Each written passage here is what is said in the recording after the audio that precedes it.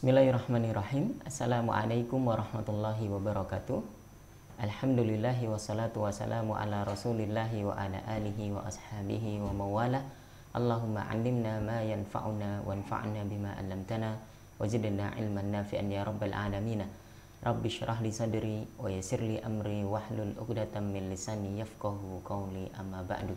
Bapak Ibu yang dirahmati Allah Subhanahu wa taala, alhamdulillah pada pagi hari ini kita bisa berjumpa lagi di SFN Sekolah Fikih Live bersama saya Wildan Jauhari.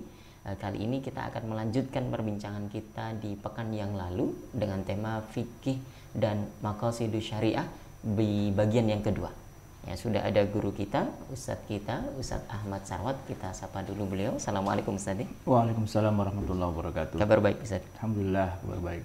Kita lanjutkan di fikih dan maqasid syariah Ustadz. Iya insya Allah. Terima kasih Bapak Ibu yang sudah bergabung uh, melalui Zoom kita atau yang juga menyaksikan tayangan ini di Facebook maupun di YouTube. Mudah-mudahan kita semua dalam keadaan baik dan sehat selalu. Baik. Kalau kita lihat di buku PDF kita, kita akan review sebentar.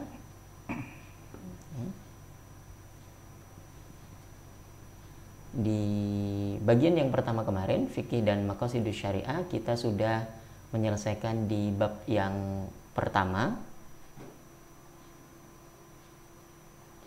Belum tampil ya? Ya? Iya di bagian pertama kita sudah bicara tentang apa itu maqasid, Betul. ya kan, dan juga apa itu syariah, dan kemudian apa pengertian dari maqasid syariah. Oke. Mungkin Ustaz Wildan bisa eh, membacakannya pengertian dari maqasid syariah. Eh, misalnya dari Ibnu Ashur ya. Ibnu Ashur itu memang termasuk tokoh besar ya ulama kontemporer yang menyebutkan tentang apa yang dimaksud dengan maqasid syariah. Al-ma'ani wal wal hikam al malhudha li syari'i fi jami'i ahwali tashri'i aw mu'dhamiha. Jadi makna-makna dan hikmah-hikmah itu maqasid syariah. Nah, eh, kita hari ini mungkin akan langsung membahas pada bagian yang eh, kemarin sampai terakhir kita di mana ya.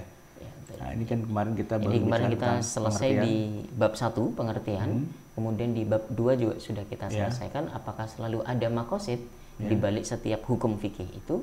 Kemudian di bab tiga kita juga sudah selesaikan Ustaz. di makosid dalam tinjauan sejarah. Ya. Hari ini kita mulai dengan bab empat nih, urgensi makosidus syariah. Ada apa aja mungkin bisa diklik sebelah kirinya itu. Itu kan tanda segitiga. Nah, ya ada beberapa ulama yang berbicara tentang maqasid syariah terkait dengan masalah urgensinya. Ada Imam Haramain Al-Juwaini, ada Imam Ghazali, Al-Amidi, Al-Iz Ibnu Abdussalam, Ibnu Qudamah, Ibnu Taimiyah, Ibnu Qayyim, kemudian juga Syatibi sendiri, kemudian nanti ada Dr. Wahbah Az-Zuhaili dan Muhammad Az-Zuhaili, kemudian ada Abdurrahman Babakar. Ini kita akan mencoba eh, serap dari mereka apa yang mereka katakan terkait dengan penting atau urgensi atau peranan ya dari uh, maqasidus syariah begitu. Kemudian di bagian yang tidak kalah menariknya di bab kelima kita akan berbicara tentang pembagian makosid syariah. Ya, ada berdasarkan eh, pengaruhnya terhadap urusan umat, kemudian berdasarkan kolektif dan personal dan juga berdasarkan kebutuhan. Kemudian nanti di bab terakhir di bab keenam itu eh, kita bicara soal ad-daruriyat al-khamsah dalam Al-Qur'anul Karim. Baik, kita mulai dari Ya. bab keempat dulu San Ya. urgensi syariah. Baik, nabda bil qiraah bismillahirrahmanirrahim. Pertama ada Al-Imam Al-Juwaini atau yang juga dikenal sebagai Imamul Haramain Ini gurunya Imam Al-Ghazali. Al-Ghazali. Ya. yang wafat tahun 478 Hijriah. Beliau mengatakan, siapa pun yang tidak memahami adanya maksud dan tujuan perintah dan larangan syariat, ia tidak akan mengetahui hakikat penetapan hukum syariat. Ya, jadi ini saya nggak mengutip teks bahasa Arabnya ya, tapi di situ disebutkan bahwa eh, maksud dan tujuan ya, al-maqsid wal ghayah gitu. Siapa pun orang yang tidak tahu maksud dan tujuan satu perintah atau satu larangan dalam syariat, dia tidak akan mengetahui apa hakikat penetapan hukum syariat itu. Jadi tidak hanya melihat zahir nasnya saja, tapi juga harus tahu juga sebenarnya apa sih tujuan dan apa sih hakikat ya atau katakanlah uh, maksud gitu ya Allah hmm. dari menetapkan hukum itu. Itu kata Al-Juwaini. Selain itu, Al-Juwaini juga menyatakan bahwa ketidaktahuan terhadap tujuan dasar syariat dalam perintah dan larangan menyebabkan terjadinya benturan keras di kalangan para ulama. Ya, yes, beliau mengatakan bahwa kalau ada khilafiyah yang terlalu jauh sampai inhiraf sampai me, apa namanya sampai menyimpang begitu hmm. tuh itu biasanya atau paling sering terjadi karena tidak mengetahui apa sih maksud dibalik dari uh, perintah larangan dalam syariat itu. Al-Juwaini berargumentasi bahwa para sahabat telah melakukan transformasi makna dan esensi syariat dari teks kemudian menerapkannya pada masalah yang secara tekstual tidak ditemukan dalam teks. Nah, jadi mencari hakikat gitu ya, hmm. ya atau mencari maksud dari satu ayat atau hadis gitu itu bukan baru-baru zaman beliau aja dilakukan, tapi dari zaman sahabat pun mereka juga sudah melihat uh, maksud dan tujuan dari setiap nas begitu. Oke, okay. masya Allah ini uh, tiga urgensi yang dirumuskan oleh hmm. Alimah Mujwa ini. Pertama untuk uh, mengetahui hakikat yeah. Hukum itu sendiri, kemudian supaya tidak terjadi uh, apa namanya kontradiksi ya. atau benturan antar ulama, dan juga supaya bisa uh, mengkontekstualisasi yeah. teks yang terbatas itu yeah. dengan kehidupan yang selalu dinamis. Baik, ini kita bahas Hujjatul Islam, murid dari Imamul Haramain, Al-Imamul Ghazali, yang mengatakan bahwa maslahat adalah menarik manfaat atau menolak bahaya yang merupakan esensi syariat. Ya, esensi syariat ini terbagi menjadi lima, yaitu menjaga agama, jiwa, akal, nasab, dan harta manusia. Menurut beliau, segala hal yang mengandung pemeliharaan terhadap lima asas ini adalah kemaslahatan ya sedangkan yang bertentangan dengan asas-asas ini termasuk mafsadat sementara upaya menolaknya disebut uh, maslahat gitu. Yeah. Secara implisit Al Ghazali ingin mengungkapkan bahwa setiap hukum syariat pasti memiliki esensi pembentukannya yakni mewujudkan kebaikan universal bagi manusia dan tidak mungkin menjerumuskan manusia ke dalam lubang kehancuran. Ya, tampaknya Al Ghazali ingin membela kepentingan Tuhan dalam teks dan meniadakan kebaikan dalam pandangan manusia menurutnya maslahat adalah maslahat menurut syariat bukan menurut persepsi manusia Ya, nah, kalau kita mau ambil intinya apa yang disampaikan oleh Al Ghazali tadi justru ada di paragraf pertama. Hmm. Kita mundur ke paragraf pertama.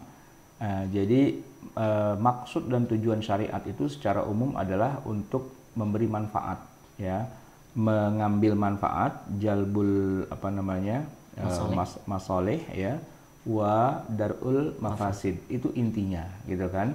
Nah kemudian jasa dari Imam Al Ghazali dalam masalah uh, maqasidus syari adalah beliaulah yang merumuskan lima lima poin. Jadi maslahat itu dalam bidang apa saja dibagi menjadi lima. Hmm. ya agama jiwa akal nasab dan kehormatan gitu ya. Apa kehormatan atau bukan di situ? Harta atau harta. Oh iya harta. Jadi agama jiwa akal nasab, nasab itu kehormatan gitu ya, dan kemudian uh, harta. Nah, beliaulah yang sebagai pencetusnya. Jadi bukan cuma sekedar uh, ada tujuan, tapi beliau sudah menyebutkan tujuannya adalah maslahat, menolak madarat gitu kan, menolak hal-hal yang merusak. Tapi bahkan beliau sudah langsung merumuskan yang dimaksud dengan maslahat itu maslahat di bidang apa? kebaikan di bidang apa? Nah, beliau sudah menyebutkan lima kebaikan dari agama yang Allah turunkan. Jadi lebih spesifik ini sebenarnya yang dikatakan oleh Al Ghazali.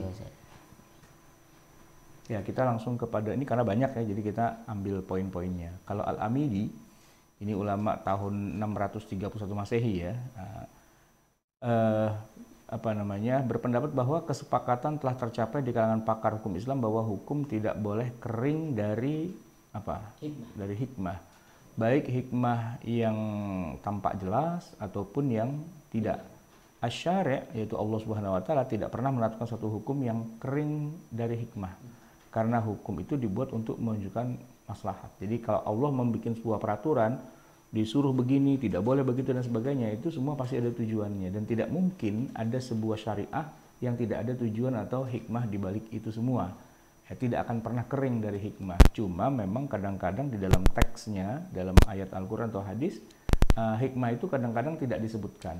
ya ada yang uh, secara jelas disebutkan memang tapi banyak juga yang tidak jelas. Nah tugas kita para ulama itulah kemudian untuk menampilkan apa saja hikmah-hikmah itu. Makanya ada pelajaran materi maqasidus syariah menggali ya menggali tujuan-tujuan dari syariat itu. Namun hal tersebut gimana? Namun hal tersebut menurut Amidi bukanlah suatu keharusan bagi Allah. Ya sebenarnya kalau kita bilang pasti di balik itu semua ada hikmah. Tapi apakah Allah jadi wajib harus memberikan hikmah di balik itu? Ya tentu sih tidak tidak harus begitu. Ya berdasarkan pengamatan yang mendalam pada kebiasaannya, ini cuma dari pengamatan aja. Kalau melihat kayaknya apa yang Allah perintahkan itu semua mengandung hikmah semua itu, mengandung tujuan, kepentingan, maslahat buat kita gitu ya. Walaupun beliau tidak mengatakan, oh berarti Allah terikat dengan ketentuan. Kalau bikin syariat harus ada hikmahnya ya? Enggak juga begitu. Oke, itu al-amidi. Kita ke tokoh yang keempat ada hmm. Al-Iz bin Abdissalam. Ya ini masih usianya di sekitaran situ semua ya. Tadi kan Al-Ghazali 505. Sekarang Al-Iz Abdissalam itu abad kemudian 660 Hijriah wafatnya ya. Beliau mengatakan siapa pun yang memperhatikan esensi syariat dalam upaya mendatangkan maslahat dan menolak mafsadat, ia akan memperoleh keyakinan dan pengetahuan yang mendalam bahwa maslahat tidak boleh diabaikan dan mafsadat tidak boleh didekati. Hmm. Ya kendati pun tidak ada ijma, teks maupun kias yang khusus membahasnya, ya karena pemahaman inti syariat meniscayakan hal tersebut. Ya walaupun tidak ada ayat Qur'annya, tidak ada hadisnya, tidak ada ijma kiasnya gitulah ya. Tapi kalau ini mafsadat harus dihindari tanpa harus menggunakan rujukan-rujukan syariah yang lain gitu ya prinsipnya begitu itu udah satu hal yang nggak bisa nggak sudah sesuatu amrun badihi gitu yang sesuatu aksiomatis gitu ya ini kata Al Iz ibnu Abdussalam siapa yang mati? Saya? Oh dan. Baik saya coba lagi. Ya jadi uh, kita masih bicara terkait dengan masalah uh, istilahnya apa sih manfaat dari kajian tentang maqasid ya. Jadi maqasid itu terkait dengan masalah mendapatkan maslahat, kebaikan dan menolak mafsadat. Intinya di situ. Jadi setiap perintah Allah, setiap syariah itu selalu di apa? Selalu dilatar belakangi atau ada semacam kayak tujuannya, target-targetnya itu untuk kemaslahatan buat manusia itu sendiri. Baik, Ustaz. Itu tadi Al-Iz, pendapat ya? Al-Iz bin Abdissalam berikutnya kita langsung ke Ibnu Qudama. Ibnu Qudama Al-Maqdisi. Ini masih di sekitaran tahun yang sama. Yeah. Ya, beliau berkata pengetahuan terhadap motivasi syar'i dan hikmahnya menjadikan seorang mukallaf lebih cepat membenarkannya dan lebih cepat untuk menerimanya. Hmm. Ya, maka sesungguhnya jiwa manusia membutuhkan pada hukum-hukum yang dapat dicerna oleh akal sehingga menggiring kepada keterpaksaan hukum dan kepahitan ibadah. Hmm. Ya, untuk tujuan seperti ini dianjurkan nasihat, peringatan, menyebutkan keelokan syariat dan makna-makna tersirat. Jadi kalau misalnya begini, kalau kita misalnya puasa ya, puasa itu kan ya puasa lah, nggak boleh makan, nggak boleh minum gitu. Tapi hmm. kalau dibalik dari itu ada hikmah, puasa itu ternyata bisa misalnya orang jadi tambah sehat gitu. Jadi kan orang jadi punya apa namanya sedikit motivasi, motivasi gitu ya. syar'i ya, tadi. Ya, begitu. Itu Ibnu Qudamah memang menyatakan hal itu. Jadi silakan saja dicari hal-hal yang sekiranya akan membuat kita tambah semangat hmm. ketika menjalankan perintah biar perintah itu nggak terasa cuman kosong begitu aja kita kayak robot suruh begini ya begini suruh begitu ya begitu tapi ada ada nilai-nilai yang hmm. bisa kita dapat dibalik dari itu semua ya tentu ada ukuran-ukurannya ya karena tidak bisa hanya semata-mata uh, karena kita cari-cari gitu. hikmahnya kita cari-cari kalau nggak ketemu dipaksa ya jangan juga gitu ya Ibnu Taimiyah. Baik. Beliau mengatakan bahwa seluruh syariat yang dibawa Nabi Muhammad Shallallahu Alaihi Wasallam pasti memiliki tujuan untuk mewujudkan kemaslahatan baik di dunia dan di akhirat. Ya, sehingga meniscayakan beberapa ketentuan yang bertolak belakang dengan syariat adalah batal secara hukum. Hmm. Ya, meniscayakan pula bahwa syariat merupakan ukuran yang harus digunakan untuk menimbang sebuah maslahat dan mafsadat yang tidak tertuang pada teks sebagai sebuah perwujudan ketaatan kita pada Allah Subhanahu wa taala dan Rasulnya Shallallahu alaihi wasallam. Yang dalam memandang syariat, Ibnu Taimiyah juga meniscayakan adanya maqasid dalam setiap keputusan hukum yang tertuang dalam teks. Namun ketidaktahuan akan makosid dari satu perintah atau larangan tidak harus meniadakan kedua hal tersebut. Ini harus dicatat nih, hmm. ya kan? Ya, beliau mengatakan pasti ada makosid, ada tujuan, ya, di balik dari semua perintah Allah. Tapi kalaupun kita tidak menemukannya, bukan hmm. berarti ya sudah nggak wajib gitu. Ini kalau kita kasih contoh yang sering sehari-hari itu misalnya, kenapa sih Allah mengharamkan makan babi gitu ya? Okay. Oh kan biasanya logikanya yang main tuh makosidnya hmm. adalah oh biar nggak apa misalnya biar nggak terkena cacing pita gitu kan nah e, Ibn Taimiyah ingin menegaskan bahwa oke okay lah kita bisa mencarikan alasannya gitu tapi kalaupun ternyata alasannya tidak ada ataupun gugur ataupun istilahnya terkoreksi gitu alasannya ya syariatnya tetap tetap okay. ada tetap berjalan tetap berlaku kenapa kita nggak boleh makan babi oh takut kena cacing pita. Ternyata secara teknologi cacing pitanya bisa dimatiin. Hmm. Nah, apakah daging babinya menjadi halal kan tidak? Hmm. Gitu maksudnya Imam Taimiyah. Prinsip ketaatan dan kepasrahan penuh pada Allah Subhanahu wa taala dan Rasulnya harus yang dikedepankan. Yeah. Ya, di sisi lain secara eksplisit Ibnu Taimiyah ingin menunjukkan bahwa keberadaan maqasidus syariah pada teks harus dilaksanakan sesuai dengan petunjuk dalam teks itu hmm. sendiri. Ya tidak boleh gegabah dengan menabrak teks dan tidak pula berlebihan dalam menaati ketentuan teks ya, ya sehingga menjalankan teks yang masih tidak diketahui makosidnya berarti telah menjalankan kehendak ilahi jadi ya sama aja sih ada makosid nggak ada makosid dia tetap jalan hmm. cuma kalau ada makosid akan lebih mantap gitu aja ya Bagaimana dengan Ibnu Qayyim muridnya? Muridnya ya, beliau mengatakan di dalam kitabnya I'lamul Muwaqqi'in an Rabbil Alamin menyatakan bahwa seorang tidak akan mengetahui mana kias yang benar dan mana kias yang salah tanpa mengetahui rahasia-rahasia dan tujuan-tujuan syariat. Jadi salah satu sumber syariat Islam itu kan kias. Tapi kias itu nggak akan bisa berjalan kalau kita nggak tahu dulu ini maksud tujuan syariat ini apa nih, hmm. gitu kan? Kalau kita tahu maksudnya, baru kita bisa mengkias. Contohnya, ketika Allah mengharamkan khamr, yang diharamkan tuh khamar loh. Allah nggak menyebutkan tentang tidak boleh uh, mengkonsumsi benda-benda yang bisa memabukkan, makanan minuman yang memabukkan. Ya, nasnya tidak begitu. Nas Qur'annya hanya menyebutkan tentang khamar itu haram dah gitu aja, ya kan? Nah, para ulama kemudian bisa menarik kesimpulan bahwa yang dimaksud, nah, makosidnya gitu ya, atau ilatnya itu aliskar. Okay. Mm -mm bukan khomernya tapi memabukkannya. Nah, kalau sudah menemukan rumus atau inti atau makasidnya tadi itu, barulah bisa kita kias. Berarti nanti kalau ketemu makanan minuman yang juga memabukkan, hukumnya ikut juga dengan hukum uh, khomer yang haram. Itu kan kias tuh di situ. Nah, dalam hal ini Ibnu Qayyim itu sebenarnya menyebutkan maksud itu sebenarnya adalah ilat gitu. Kalau hmm. kita kenal dalam ilmu usul fikih itu ada ilat, ilat. gitu ya. Oke. Okay. Eh, kajian makosid ini di tangan beliau Ibnul Qayyim al-Jauziyah sangat tampak signifikasinya dalam mengetahui kebenaran kias yaitu dengan melakukan penyesuaian terhadap semangat syariah ya, ya meskipun secara eksplisit eh, penulis belum menemukan tata kerja makosid sebagai barometer benar dan salah dalam proses operasional kias bagaimana yang diklaim oleh Ibnul Qayyim namun dapat ditarik benang merah bahwa makosid syariah memberi rambu-rambu praktek kias bagi para mujtahid agar tepat pada sasarannya. Ya, kita memang anu ya berselancar dalam uh, garis sejarah bertemu dan berbincang dengan para ulama sepanjang sejarah ya. Hmm. Sekarang kita ngobrol lagi dengan uh, Asy-Syatibi ya, ulama abad ke-8, Abu Ishaq Asy-Syatibi. Ini yang dikenal sebagai bapak Maqasidus Syariah sebenarnya, lebih dikenal sebagai ikonnya. Hmm Beliau mengatakan atau menyatakan bahwa perbedaan di kalangan ulama disebutkan oleh buruknya pemahaman terhadap esensi syariat dan rekaan makna yang terkandung di dalamnya yang menunjukkan kedangkalan pengetahuan. Ya, itu ada statementnya.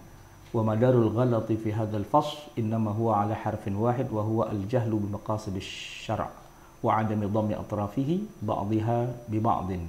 Jadi lingkup masalahnya pasal ini, ini kita kalau ngomongin tentang perseteruan di antara hmm. para ulama begitu ya. Uh, ini cuma ada satu huruf saja masalahnya, yaitu al-jahlu, kebodohan atas makosidus syariah. Lu pada nggak ngerti sih makosid syariahnya itu apa, makanya pada berantem, gitu kira-kira bahasa Betawinya. Ya wa adami dhammi atrafi, nggak bisa menautkan ujung satu ujung dengan yang lain tuh ini nggak connect gitu. Ini kalian tuh ribut sesuatu yang nggak kalian nggak bisa konekin satu dengan hmm. yang lain. Harusnya kalian tahu dulu makosidus syariahnya itu kayak gimana baru kalian bisa ngomong. Kalau nggak ngerti makosidus syariah main haram-haramin aja itu jadi jadi urusan. Nah, beliau menyebutkan dengan bahasa yang rada-rada sarkasme ya. Al jahlu bi maqasidus syar'i wa adami dhammi atrafihi ba'dha bi ba'din itu dalam uh, al-i'tisam ya beliau hmm. punya lagi kitab namanya al-muwafaqat ya yang terkenal juga ya Secara tegas, beliau menjadikan pemahaman yang mendalam terhadap maqasidus syariah sebagai syarat seorang mujtahid. Nah, ini poin penting juga ya. Jadi, seorang mujtahid harus menguasai maqasidus syariah menurut Asy-Syatibi. Karena itu menurutnya seorang tidak mungkin mencapai derajat ijtihad jika tidak mengenal syariah secara sempurna dan menjadikannya sebagai metode dalam menggali hukum. Nah, ini agak beda dengan yang tadi-tadi ya. Kalau yang tadi kan cuman memperkuat, memboosting aja, membos jadi booster gitu ya. Hmm. Uh, apa namanya? aturan main dalam menarik kesimpulan hukum tetap ada, ada usul fikihnya. Tapi maqasid syariah itu menguatkan saja begitu kan. Tapi kalau Asy-Syatibi ini sudah berbeda. Beliau sudah mengatakan ini adalah bagian dari perangkat yang dibutuhkan oleh seorang mujtahid dalam mengestimbat hukum. Hmm. Kalau seorang mujtahid nggak kuasai materi, materi uh, maqasid syariah, jangan jadi mujtahid gitu ya. Ini kritik pedas ya, ditujukan kepada kalangan tekstualis zohiri gitu ya, yang hanya memandang syariat berupa teks saja, harfiah saja, tekstual saja dan hmm. menghilangkan ruh dari teks itu sendiri. Jadi menurutnya tanpa disadari aktivitas seperti ini telah menggiring mereka keluar dari uh, koridor agama karena menghilangkan ruh dari teks itu. Pada, pada akhirnya teks hanya seonggok daging tanpa ruh. Ya, jadi kan kalangan zohiri begitu kan mereka yang hanya melihat nas apa adanya secara harfiah begitu lalu dikerjain kayak gitu itu di, dikritik habis-habisan oleh Asy-Syatibi jadi orang yang paling anti dengan uh, pemahaman apa zahir itu adalah Asy-Syatibi karena beliau bapak dari maqasidus iya. syariah. Jadi lawan maqasidus syariah adalah apa? Zahiri. Itu lawannya begitu.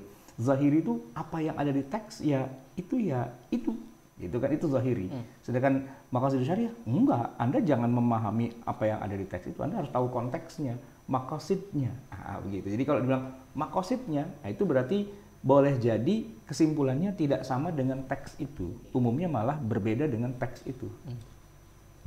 Ya, jadi beliau mengatakan seperti seonggok daging tanpa ruh, seperti pisau tanpa ketajaman, jadi nggak ada gunanya. Anda punya pisau tapi gak tajam gitu, macan tapi ompong gitu ya seperti masakan tanpa ada rasanya sama sekali. Ini menandakan bahwa maqasid syariah perlu digali untuk menghidupkan kembali teks dalam setiap kondisi, kondisi dan zaman. Bahkan kredibilitas seorang dikatakan mujtahid atau tidak, itu dia menguasai maqasid syariah atau tidak. Menurut siapa? Asy-Syatibi. Ya. Baik. Kemudian kita uh, pindah ke tokoh berikutnya, ada Nuruddin Al-Khadimi yang merangkum beberapa urgensi ilmu terhadap maqasid syariah. Di antaranya pertama menampakkan illah, ya, hikmah dan tujuan dari syariat baik secara parsial ataupun komunal, baik secara umum ataupun khusus dalam segala sendi kehidupan dalam berbagai tema di dalam hukum Islam. Ini karena dia sudah ulama ke sini ya, hmm. jadi ya semua itu sama dia dirangkum lah gitu kira-kira gabungan ya. Uh, yang kedua yang memberikan kemampuan bagi seorang ahli fikih untuk menggali hukum berdasarkan tujuan, membantu ya, memberikan kemampuan begitu. Yang ketiga itu kan meminimalisir perbedaan. Hmm. Kalau kita tahu makasidnya, insya Allah nggak akan terjadi perbedaan. Ya kayaknya memang para pengusung uh, makasid syariah itu sering kali menjadikan uh, ketidaktahuan terhadap makasid syariah sebagai biang keladi dari perbedaan, perbedaan. pendapat. Oke. Okay. Yang keempat memadukan antara dua sikap uh, ekstrim, ya. yaitu ekstrim kanan yang cenderung tekstualis, skripturalis, dan yang ekstrim kiri yang cenderung pada esensi dan ruh teks namun mengesampingkan yang tampak pada teks itu nah, sendiri. Dalam hal ini uh, beliau malah memposisikan maqasid syariah itu malah di tengah-tengah gitu. Karena beliau melihat ada dua kubu ekstrim. Nah, maqasid syariah itu menyatukan. Paling tidak maqasid syariah versi beliau hmm. itulah maqasid yang maksudnya ada di tengah-tengah. Hmm. Padahal kalau tadi kan saya mengatakan bahwa maqasid syariah itu sebagai lawan dari zahiri gitu kan, lawannya jadi dua kutub. Tapi kalau beliau mengatakan enggak, maka ada ada yang hanya lihat ruhnya saja begitu tanpa bisa melihat teksnya. Nah, ketika ngomongin makosid, dengan makosid kita jadi adil ada di tengah. Okay. Begitu. Kelima, membantu seorang mukallaf dalam melaksanakan taklif okay. secara maksimal. Kemudian enam, membantu seorang penceramah ya juru dakwah dan sebagainya. Oke, sekarang kita bicara tentang Wahbah Zuhaili. Wahbah Zuhaili. Nah. Menjelaskan bahwa mengetahui makosid syariah ini bukan hanya dibutuhkan oleh para mujtahid saja, mm -hmm. namun kita sebagai orang awam pun juga membutuhkan. Yeah. Ya, dalam hal ini beliau membaginya menjadi dua manfaat, Yeah. yaitu lil mujtahidi indastimbatil ahkam wa fahmun nusus, wa li ghairil mujtahid lit ta'arruf ala asrari tasyri'. Iya. Oke, bagi mujtahid itu mengetahui makosid syariah itu eh, ketika beliau atau mujtahid itu hendak melakukan istimbat hukum dan memahami nas. Ya, adapun pemahaman terhadap makosid bagi selain mujtahid yaitu orang awam itu berfungsi untuk mengetahui rahasia-rahasia di balik tasyri' itu. Jadi makosid syariah dalam pandangan mad- eh, Dr. Wahba Az-Zuhaili itu ada dua ya gunanya gitu. Yang pertama untuk istimbat dan ini dilakukannya oleh eh, Mustahid. mustahid. Jadi akan membantu begitu ya. Tapi eh, buat orang awam seperti kita yang bukan mujtahid, makosid ini bukan buat istimbat, tapi buat menyelami hikmah di balik dari itu semua biar tambah mantap karena kalau dibukakan rahasia-rahasia di balik pensyariatan, kenapa sih Allah syariatkan kayak gini? Uh, terus kita jelasin satu persatu begitu, wah orang awam jadi semangat itu sholatnya, puasanya, apa segala macam karena ada ya kan biasa kan kalau ada kajian-kajian para penceramah rahasia sholat khusyuk, rahasia, rahasia gitu-gitu kan. Nah itu sebenarnya itu bukan istimbat hukum, itu adalah bagaimana me, me- apa ya mengeksplorasi syariat itu dilihat dengan kacamata yang lain yaitu apa sih manfaatnya dari sisi kesehatan, dari sisi sosial, dari sisi apa dan sebagainya dan itu sering sekali hal-hal seperti itu diangkat taharoh gitu misalnya kebersihan. Sebenarnya kan itu ritual aja aslinya, tapi kalau ditarik menjadi oh jadi kesehatan, jadi ya, kebugaran, jadi kebersihan dan sebagainya itu malah jadi tambah menarik, orang jadi semakin semangat ya. Dua poin itu. Walaupun Dr. Wahab Ghazali juga tetap mengatakan bahwa maka syariah itu tidak menjadi satu-satunya acuan bagi mujtahid. Ini adalah salah satu perangkat dari sekian banyak perangkat yang dimiliki. Agak sedikit berbeda dengan Ibnu Ashur yang kayaknya dia ingin mengatakan bahwa ini yang paling hebat nih gitu. Kalau kalau Wahab Zuhaili mengatakan ya itu salah satu aja, nggak nggak semuanya. Bahkan mungkin tanpa makosid pun masih jalan juga gitu ya. Tapi tetap diakui sebagai salah satu perangkat yang punya fungsi yang bisa juga sebagai metodologi dalam mengistimbat hukum. Itu Ini saya agak lancar karena ini buat ujian ya. Kemudian ada eh, saudaranya Dr. Waba Azuhaili ini, ada Muhammad, Azuhaili. Adapun urgensi makosid Adiknya apa abangnya? Adiknya mungkin. ya. eh, khususnya bagi seorang mustahid atau ahli hukum Islam atau peneliti, Muhammad Azuhaili merangkumnya menjadi lima poin. Hmm. Ya pertama makosid bisa dijadikan alat bantu bagi mereka untuk mengetahui hukum syariah, baik bersifat universal atau kuliah maupun parsial, juz'iyah dari dalil-dalil yang pokok dan cabang. Poinnya itu alat bantu, ya, bukan eh, alat utama, tapi alat bantu. Jadi ya istilahnya ya nambah-nambah kelengkapan lah gitu ya. Yang kedua, dapat membantu para mujtahid untuk memahami teks-teks syariat dan menginterpretasikannya dengan benar. Ya, khususnya dalam tataran implementasi teks ke dalam realitas kehidupan. Ya, untuk mengetahui, memahami maksudnya apa ya. Nah, itu dengan ilmu makosid. Oke, yang ketiga, Uh, membantu mereka dalam menentukan maksud oleh teks secara tepat, khususnya ketika berhadapan dengan lafal yang memiliki lebih dari satu makna. Nah, itu menarik ya. Di dalam Al-Qur'an kita sudah bahas tuh tentang al-wujuh wan nadhair. Ya, kalau secara apa? secara bahasa kar- eh, kata atau diksi yang digunakan itu itu juga. Tapi kok maknanya jadi beda? Itu karena tahu makosidnya. Ya. Ketika Allah menyebutkan Allah itu sholat kepada Nabi Muhammad, maksudnya bukan sholat ruku sujud gitu kan? Masa Allah ruku sujud sama makhluknya kan? Nggak mungkin. Nah itu gimana cara memahami eh, ka- konteks kata-kata innallaha wa malaikatahu yusalluna? Allah dan malaikat itu sholat. Oh maksudnya adalah kalau Allah itu memberi rahmat kalau malaikat itu memintakan ampunan dan kalau kita sebagai umatnya sholat kepada Nabi itu maksudnya mengucapkan Allahumma sholli wa sallim ala Muhammad gitu kan walaupun semua kata yang digunakan itu sholat sholat sholat semua sholat. Tapi sholat yang dimaksud bukan sholat berdiri rukuk sujud. Tapi sholat yang dimaksud tergantung konteksnya. Nah bagaimana cara mengetahui dan membedakan itu semua? Makosid. Yang keempat, eh, ketika tidak mendapati problematika atau kasus kontemporer yang tidak ditemukan teks berbicara tentangnya, mujtahid atau ahli hukum Islam bisa merujuk ke makosidus syariah dengan menetapkan hukum melalui ijtihad, kias, istihsan, istislah dan lain sebagainya sesuai dengan ruh nilai-nilai agama, tujuan dan pokok-pokok syariat. Ya kan banyak di hari ini hal-hal yang tidak ada nasnya di dalam hadis atau dalam Al-Quran gitu ya. Nah, tetapi tetap kita bisa melakukan apa namanya kesimpulan hukum. Misalnya pakai helm. Ada nggak sih hadisnya boleh apa wajib pakai helm? Kan nggak ada gitu Iya. kan. Nah, tapi dengan makasid gitu, oh maksudnya biar kepala anda tuh nggak kebentur trotoar atau beton gitu atau aspal gitu kan. Nah itu kan ada makosidnya gitu. Dengan menggunakan makosid kita bisa bikin banyak hal gitu ya. Ah, yang tentu saja itu bagian dari syariah juga. Oke. Kemudian yang kelima, maqasidus syariah dapat membantu seorang mujtahid, hakim dan ahli hukum Islam dalam melakukan tarjih. Dalam masa hukum Islam kita terjadi kontradiksi antara dalil yang bersifat universal atau parsial. Ya dengan kata lain, maqasid merupakan salah satu metode tarjih atau taufik kompromi ketika terjadi ta'arud bainal adillah. Jadi salah satu eh, cara para ulama ketika mereka berbeda pendapat dan menguatkan pendapatnya dia itu biasanya pakai makosid gitu. Makosidnya tuh begini, nah gitu kan. Walaupun nanti sana juga pakai makosid juga. Jadi ada dua pendapat gitu ya, satu punya pendukung, satu punya pendukung. Masing-masing bilang makosidnya begini, makosidnya begitu. Nah maksudnya dalam hal ini bukan berarti kalau udah pakai makosid berarti pakai yang pakai makosid juga pasti selalu benar gitu ya.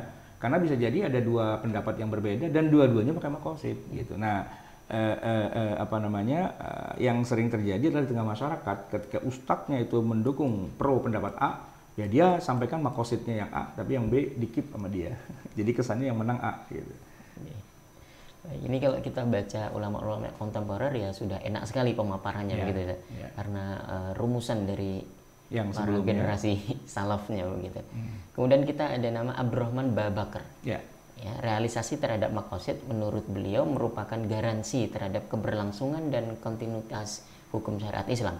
Juga untuk menghadirkan risalah ini bagi generasi-generasi masa depan yang hadir jauh setelah masa kenabian. jadi menurut beliau tuh kalau nggak ada makosid Islam tinggal sejarah Quran tinggal sejarah hadis tinggal sejarah karena karena nggak relevan banyak yang tidak relevan dengan, masa sekarang ini ayat Quran dan hadis gitu.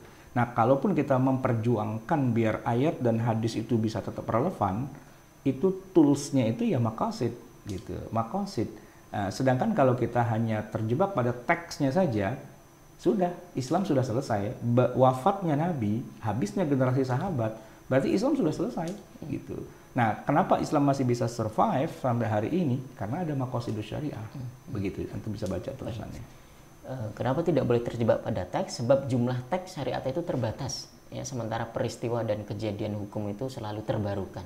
Sehingga tidak mempertimbangkan makosid sebagai tujuan dan sasaran merupakan pengabaian sekaligus penodaan terhadap agama Islam. Ya, tidak memperhatikan makosid juga berarti telah menganggap bahwa agama ini bersifat statis, kaku, usang, dan ketinggalan zaman. Ya. Ya, bahkan sejarah mencatat kisah tragis orang yang tidak mau menggunakan konsep taklil ya, ilatnya itu apa ya, dengan penuh perenungan lantas mereka mengabaikan makosid dan tidak memperhatikan hikmah tasyrik, itu ujung-ujungnya ya mereka akan dibuat pusing sendiri ya.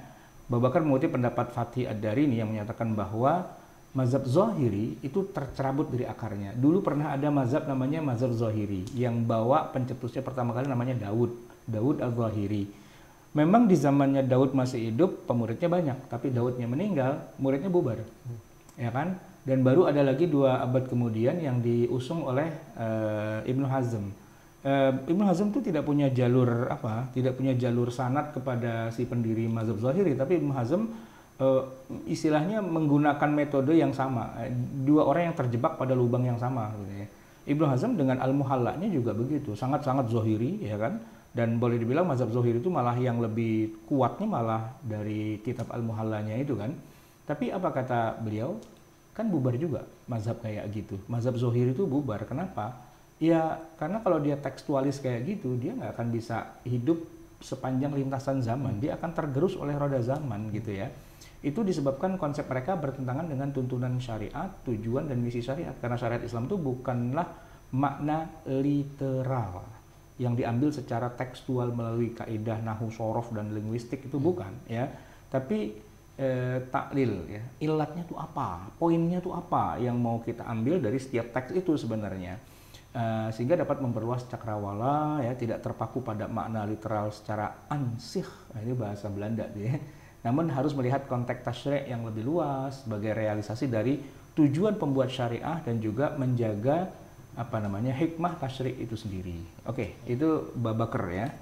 kita sudah habis nih ya. Ini mungkin masih panjang tapi kita loncat aja ke bab berikutnya yaitu pembagian makosid. Pembagian makosid di bab yang kelima. Ya. Berdasarkan tingkat kepentingannya, makosid syariah bisa dibagi menjadi daruriyat, hajiyat, tahsiniyat, dan mukamilat. Ya. Ya, berdasarkan tingkat kepentingannya, makosid syariah bisa dibagi berdasarkan beberapa klasifikasi. Mm. Yang pertama berdasarkan pengaruhnya terhadap urusan umatnya. Mm. Ya, berdasarkan pengaruhnya terhadap urusan umat, maslahat terbagi tiga tingkatan hierarkis. Ya, yaitu ada daruriyat pertama, kemudian ada hajiyat dan tahsiniyat. Apa itu daruriyat? Ya, daruriyat adalah kemaslahatan yang sifatnya harus dipenuhi dan apabila tidak terpenuhi akan berakibat pada rusaknya tatanan kehidupan manusia di mana keadaan umat tidak jauh berbeda dengan keadaan hewan. Ya. Ya, al-kulliyah al-khamsah merupakan contoh dari tingkatan ini yaitu memelihara agama, nyawa, akal, nasab, harta dan juga kehormatan. Ya. Ya, pembagian ini dicetuskan pertama kali oleh Al-Imam Al-Ghazali. Itu termasuk yang daruriyat. Makanya nanti istilahnya daruriyat khamsah. Al-khamsah. Ya. Tapi di bawahnya yang daruriyat ada yang sifatnya hajiat. Jadi kalau yang tadi istilahnya primer, nah ini hajiatnya ya sekunder. Ya.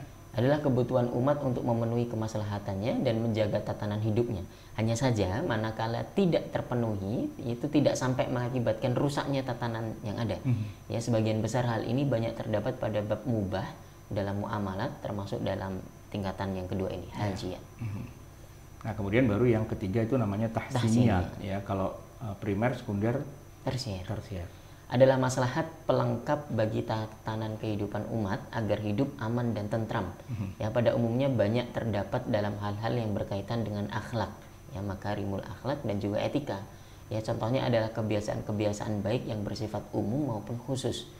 Ya, selain itu terdapat pula al-masalih al-mursalah yaitu jenis maslahat yang tidak dihukumi secara jelas oleh syariat. Ya, bagi Imam Ibnu Ashur, maslahat ini tidak perlu diragukan lagi hujiyahnya karena cara penetapannya mempunyai kesamaan dengan penetapan kias. Oke, itu tadi berdasarkan urut-urutan kebutuhannya. Ada daruriyat, hajiat, dan Tahsiniyat. tahsiniyat. Nah sekarang berdasarkan kolektif dan personal. Ini untuk kepentingan pribadi apa kepentingan kolektif ya masyarakat gitu. Ini dibagi lagi. Yang kuliah itu adalah kemaslahatan yang berpulang kepada semua manusia atau sebagian besar ya, walaupun nggak semua tapi mayoriti gitu ya. Ya menjaga persatuan umat Islam, memelihara dua kota suci, misalnya Mekah Madinah, menjaga hadis Nabi jangan sampai bercampur dengan hadis palsu itu adalah contoh-contoh yang dibuat oleh Ibnu Ashur. Ini adalah eh, maqasid yang sifatnya kolektif gitu ya. Tapi ada juga yang nanti sifatnya juz'i, hanya untuk kepentingan orang tertentu. Ya, tetap itu harus dijaga juga ya. Nah, ini biasanya dalam muamalah gitu. Oke. Nah, kemudian yang Berdasarkan ketiga, kebutuhan. ya, kebutuhan. Klasifikasi makosid syariah berdasarkan adanya kebutuhan manusia untuk meraihnya, maslahat terbagi menjadi qat'iyah, dhanniyah, dan wahmiyah. Wahmiyah. Ya. Ya, qat'iyah itu adalah maslahat yang ditunjukkan oleh nas-nas yang jelas dan tidak membutuhkan takwil lagi. Ya, Ya, jadi sudah- eh, ya dalam Al-Qur'an dalam hadis disebutkan ini loh tujuannya, ini loh hikmahnya gitu ya. Itu sudah qat'i karena emang yang langsung Allah sendiri yang menyebutkan atau nabi sendiri. Nah, tapi selain qat'iyah ada juga yang dhanniyah. Ya, eh, nggak disebutkan secara eksplisit, tapi kita secara logika dan akal itu kira-kira bisa menebak dan insya Allah tebakannya itu nggak meleset gitu ya, walaupun nggak disebutkan secara tegas gitu. Nah, tapi ada juga yang ketiga, yang wahmiyah. Nah, ini yang menurut pemikiran tanpa bermanfaat, namun setelah diteliti lebih jauh mengandung kemudaratan. Jadi ya waham aja. Waham tuh zon dengan waham tuh kan gini. Kalau zon tuh masih pakai eh, istilahnya pakai nalar, pakai logika yang bisa dipertanggungjawabkan kebenarannya secara ilmiah. Tapi kalau waham itu pakai insting gitu. Jadi mana buktinya? Nggak ada sih. Tapi menurut saya ya gitu. Menurut saya objektif eh, subjektivitas saya gitu, insting saya mengatakan tuh kayak gini. Perasaan aja gitu ya. Itu sifatnya waham gitu. Nah, kalau sudah masuk ke kebenaran pasti kalau yang namanya waham itu satu dengan yang lain nggak sama. Ya, tapi kalau yang pertama tadi yang qat'iyah kan nasnya kelihatan ya. Untuk begini, untuk begini, untuk begini. Puasa itu untuk apa sih? Untuk kamu bertakwa. Ya kan disebutkan di dalam Al-Qur'an, la'allakum tatakun gitu ya. Uh, sholat itu apa sih? Mencegah perbuatan keji dan mungkar. Oh iya, nah sholat tanha anil fahsya'i wal mungkar. Itu sifatnya adalah uh, kelihatan. Makanya disebut dengan istilah apa? Qat'iyah. Qat'i gitu. Nah, nanti ada yang sifatnya uh, Dhanni. pakai dhanni, jadi hujah lah walaupun Allah nggak menyebutkan tapi secara umum ya kita mengatakan itu. Kenapa sih khamar diharamkan? Maksudnya ilatnya apa? Uh, ya karena memabukkan. Gitu. Jadi yang diharamkan itu memabukkannya bukan khamarnya. Itu walaupun tidak disebutkan uh, haramnal khamra li iskarihi kan nggak ada kata-kata begitu dalam Al-Qur'an. Tapi hampir seluruh ulama sepakat bahwa oh iya itu maksudnya yang diharamkan adalah mabuknya gitu. Gara-gara bikin mabuk jadi haram gitu. Bukan semata-mata zat khamrnya itu sendiri begitu ya. Nah, kalau yang wahmiyah itu yang tadi yang sifatnya ya setiap orang mungkin bisa ngarang-ngarang sendiri yang belum tentu sama satu dengan yang lain. Itu bab yang kelima, klasifikasi uh, maqasidus syariah. Kita masuk yeah. ke bab yang keenam atau yeah. yang terakhir yaitu ad-daruriyat al-khamsah dalam Al-Qur'anul Karim. Yeah. Ya. Ini sebenarnya kalau secara nahu yang benar apa ya? Ad-daruriyatul khamsah apa ad-daruriyat al-khams? Bisa juga Ustaz. Bisa ya? Bisa. Dua-duanya ya. Tapi penjelasannya apa? Pertama, pencetus istilah nih, diksi istilah ad-daruriyat al-khamsa sangat populer di tengah masyarakat. Banyak orang mengira bahwa pencetusnya adalah Al-Imam Syatibi sebagai tokoh ulama yang membawa istilah maqasidus syariah. Mm -hmm. Namun sebenarnya pencetusnya bukan Syatibi, juga bukan Ibnu Taimiyah atau Ibnu Qayyim karena mereka sebenarnya hanya mengutip apa yang sudah dicetuskan sebelumnya oleh pendahulunya. Dan beliau ini tidak lain adalah Al-Imam Al-Ghazali rahimahullah taala. Mm Ya, Abu Hamid Al-Ghazali adalah tokoh besar dalam gugus ilmu-ilmu keislaman sehingga beliau digelari dengan Hujjatul Islam banyak sekali karya fundamental yang beliau susun, di antaranya karyanya di bidang fikih dan usul fikih. Ada Al-Mustasfa, ada Al-Nakhul, Al-Wajiz, kemudian Ihya Ulumuddin dan Ul Ghalib. Hmm. Ya, tentang tema Ad-Daruriyat Al-Khamsah ini kita temukan di kitab Al-Mustasfa. Hmm. Ya, aslinya beliau menyebut dengan redaksi Maksudus Syara. Ya. ya, dalam bentuk ifrat atau mufrad yang kalau kita ubah ke bentuk jamak menjadi maqasidus syariah. Ya, ini dia teks asli dari beliau ya. Wa maqsudus syar'i minal khalqi khamsatun ay yahfadha alaihim dinahum wa nafsahum wa aqlahum wa naslahum wa malahum. Itu maqasidus syara' gitu ya. Maksudnya syara' itu atas makhluk itu ada lima yaitu memelihara agama, jiwa, ya nafas itu jiwa atau nyawa gitu ya kemudian aklahum akal, naslahum keturunan atau kehormatan atau nasab gitu, dan yang terakhir wamalahum uh, harta benda kekayaan mereka. Jadi lima itulah ad-daruriyat al-khamsah itu ada lima urutannya seperti itu sebagaimana disebutkan oleh Al-Ghazali dalam kitab Al-Mustasfa. Al-Mustasfa ya cuman kita ngetopnya ya pokoknya itu lima itu aja siapa yang ngomong dari mana itu kita nggak tahu asal usulnya orang ngerti judulnya orang ngerti saire pokoknya joget gitu. di dalam Al-Quran Al-Karim kita menemukan ada banyak ayat bicara terkait kelima hal itu. Mm -hmm. Ya ada yang diwakili oleh dua ayat saja dan berurutan, mm -hmm. ada juga yang diwakili oleh 13 ayat secara berurutan mm -hmm. dan ada yang diwakili oleh ayat yang banyak dan tidak saling berurutan. Ya, ini kita mulai dari yang dua ayat dan berurutan mewakili lima daruriyat khamsahnya itu. Qul ta'alu atlu ma harrama rabbukum alaikum alla tusyriku bihi syai'a wa bil walidaini ihsana wa la taqtulu awladakum min imlaqin nahnu narzuqukum wa iyyahum wa la taqrabul fawahisha ma dhahara minha wa ma batan wa la taqtulun nafsa allati harramallahu illa bil dan seterusnya itu ya. Nah, ini kalau kita uh, apa namanya? kita bedah, coba di scroll ke bawah lima itu nanti diwakili oleh masing-masing petikan ayat ya. Yang pertama kan memelihara agama itu tertuang pada lafaz apa? Allah tusyriku bihi syai'a. Janganlah kamu ber, menyekutukan Allah itu hmm. menjaga agama. agama.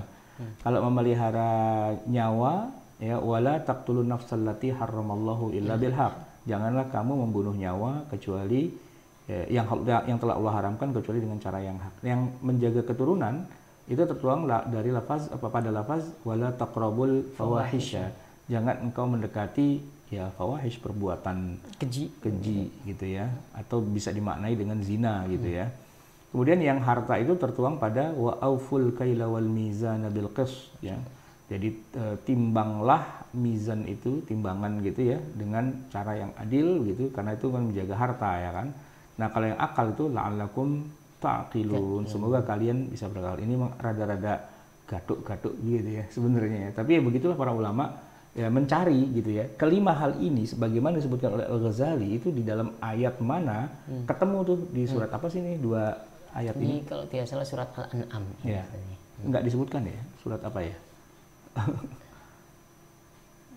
Ah, surat Al-An'am. Al-An'am ayat 151 ya. Ini Al-Yubi dua ayat di atas saja sebenarnya sudah cukup uh, mencakup lima pemeliharaan itu. Ini kata Al-Yubi ya. Oke. Oke. kemudian yang diwakili dengan 13 ayat berurutan. Itu waqadha rabbuka. Itu surat apa? Luqman ya? Atau apa? Buka alla ta'budu illa wa bil walidaini ihsana. Ini panjang sekali ayatnya. Uh, surat apa? Al-Isra. Tiga- dari 23 sampai 23 sampai 36. ya panjang itu ya. Nah itu diwakili masing-masingnya kalau menjaga agama itu ter- eh, terdapat pada ayat waqadha rabbuka alla ta'budu illa iya. Jangan kamu menyembah kecuali hanya kepadanya. Itu kan masalah akidah lah gitu ya. Jangan sirik sama dengan yang tadi kalau masalah menjaga harta wala taqtulun nafsal lati harramallahu illa bil haq kemudian nasab wala taqrabuz zina gitu ya kalau menjaga harta oh yang tadi itu bukan harta yang tadi itu wala taqtulun nafsal lati itu nyawa Nyawa. Mhm. Ya. kalau yang harta ya ini wa atidal qurba haqqahu wal miskin wa ibnas sabil wala tubadzir tabdzira. Poinnya di wala tubadzir tabdzira. Jangan buang-buang harta. Kalau yang menjaga akal malah nggak ada ya. Oke, udah. Sekarang kita masuk kepada uh, yang diwakili oleh banyak ayat dan tidak berurutan. Tadi kan dua ayat, 13 ayat itu berurutan. Sekarang dia tersebar di seluruh uh, bagian Al-Qur'an dan kalau kita mau kumpulkan nanti uh, bisa ya. Misalnya tentang ayat terkait memelihara agama. Ini kalau kita breakdown, ini ibaratnya Pancasila itu terbagi menjadi 36 butir gitu ya. Nah, ini kan lima juga nih kan Pancasila juga. Nah, butir-butirnya apa? Butir-butirnya eh, menjaga agama ya, tidak memaksa masuk Islam. Ya. Syariat Islam pada dasarnya diturunkan untuk menjaga eksistensi semua agama. Semua agama itu milik Allah gitu dan eh, kita tidak boleh merusak atau menghancurkan atau menghilangkan sebuah agama dengan cara yang paksa, misalnya dengan cara membuat pemeluknya habis dan punah gitu ya. Itu nggak boleh. Karena nanti kita ketemu dengan ayat yang bunyinya la ikraha Fiddin. Ya, tidak ada paksaan. Ya, kita disuruh dakwah, benar. Kita disuruh mengajak, itu benar. Tapi tidak boleh dipaksa. Nah, yang tidak boleh itu maksanya. Tapi kalau dakwah dan mengajaknya ya pastilah. Karena Nabi Muhammad SAW itu kerjaannya apa kalau bukan dakwah, ya kan? Mengajak orang. Tapi apakah bisa beliau memaksa pamannya untuk masuk Islam? Nggak bisa. Bisa nggak dia memaksa Abu Jahal, Abu Lahab masuk Islam? Nggak bisa juga. Ya, jadi banyak orang kafir dalam keluarga Nabi yang eh, sampai mati nggak bisa masuk Islam, nggak mau masuk Islam juga, dan Nabi nggak bisa memaksakannya seperti Abu Talib, atau yang butuh waktu lama seperti mantunya Nabi itu kan ada Abul As itu sampai bertahun-tahun nggak masuk masuk Islam juga, termasuk mertua Rasulullah Abu Sufyan itu sampai sampai udah mau habis sejarah Nabi itu istilahnya filmnya tinggal dua menit lagi eh baru masuk Islam. Padahal dia tuh mertuanya Nabi dan Nabi nggak bisa juga memaksa dia masuk Islam gitu ya. Artinya ya kalau dakwah iya, tapi kalau maksa nggak bisa. Makanya eh, prinsip yang paling dasar itu eh, hifdzu ad-din itu Al-Ghazali dengan tegas tuh menyebut kata ad-din, bukan hifdzul Islam. Beda nggak? Hmm. Beda. Ya, kalau hifdzul Islam menjaga Islam. Berarti yang bukan Islam nggak usah dijaga, gebukin aja, hancurin, gebukin dan sebagainya. Tapi Al Ghazali tidak menggunakan kata hifdzul Islam, enggak ya e, tidak memelihara atau membela Islam itu enggak. Tapi memelihara adin agama. Apa pun agamanya itu itu harus dijaga. Jangan dihancurkan. Gitu. Makanya kalau kita nanti ketemukan lagi ayat yang lain itu hormati agama lain itu jelas ya. Walaula daf'ullahin nasa ba'dahum bi ba'din lahuddimat sawami'u wa bi'u wa salawatu wa masajid. ومساجد يذكر فيها اسم الله كثيرا dan sekiranya Allah tidak menolak keganasan sebagian manusia dengan sebagian yang lain tentulah telah dirobohkan biara-biara Nasrani gereja-gereja rumah ibadah kemudian juga uh, rumah ibadahnya orang Yahudi gitu ya dan masjid-masjid yang di dalamnya di- banyak disebut nama Allah Nah, ayat Al-Hajj eh, ayat 40 dari surat Al-Hajj ini menegaskan bahwa semua itu jangan dihancurkan. Biarin aja ada, biarin aja mereka hidup, tapi beri mereka petunjuk hidayah untuk bisa memasuki agama Islam. Tapi kalaupun mereka tetap nggak mau, ya itu hak azazi mereka, hak mereka sebagai manusia untuk memilih agama sesuai dengan agamanya mereka.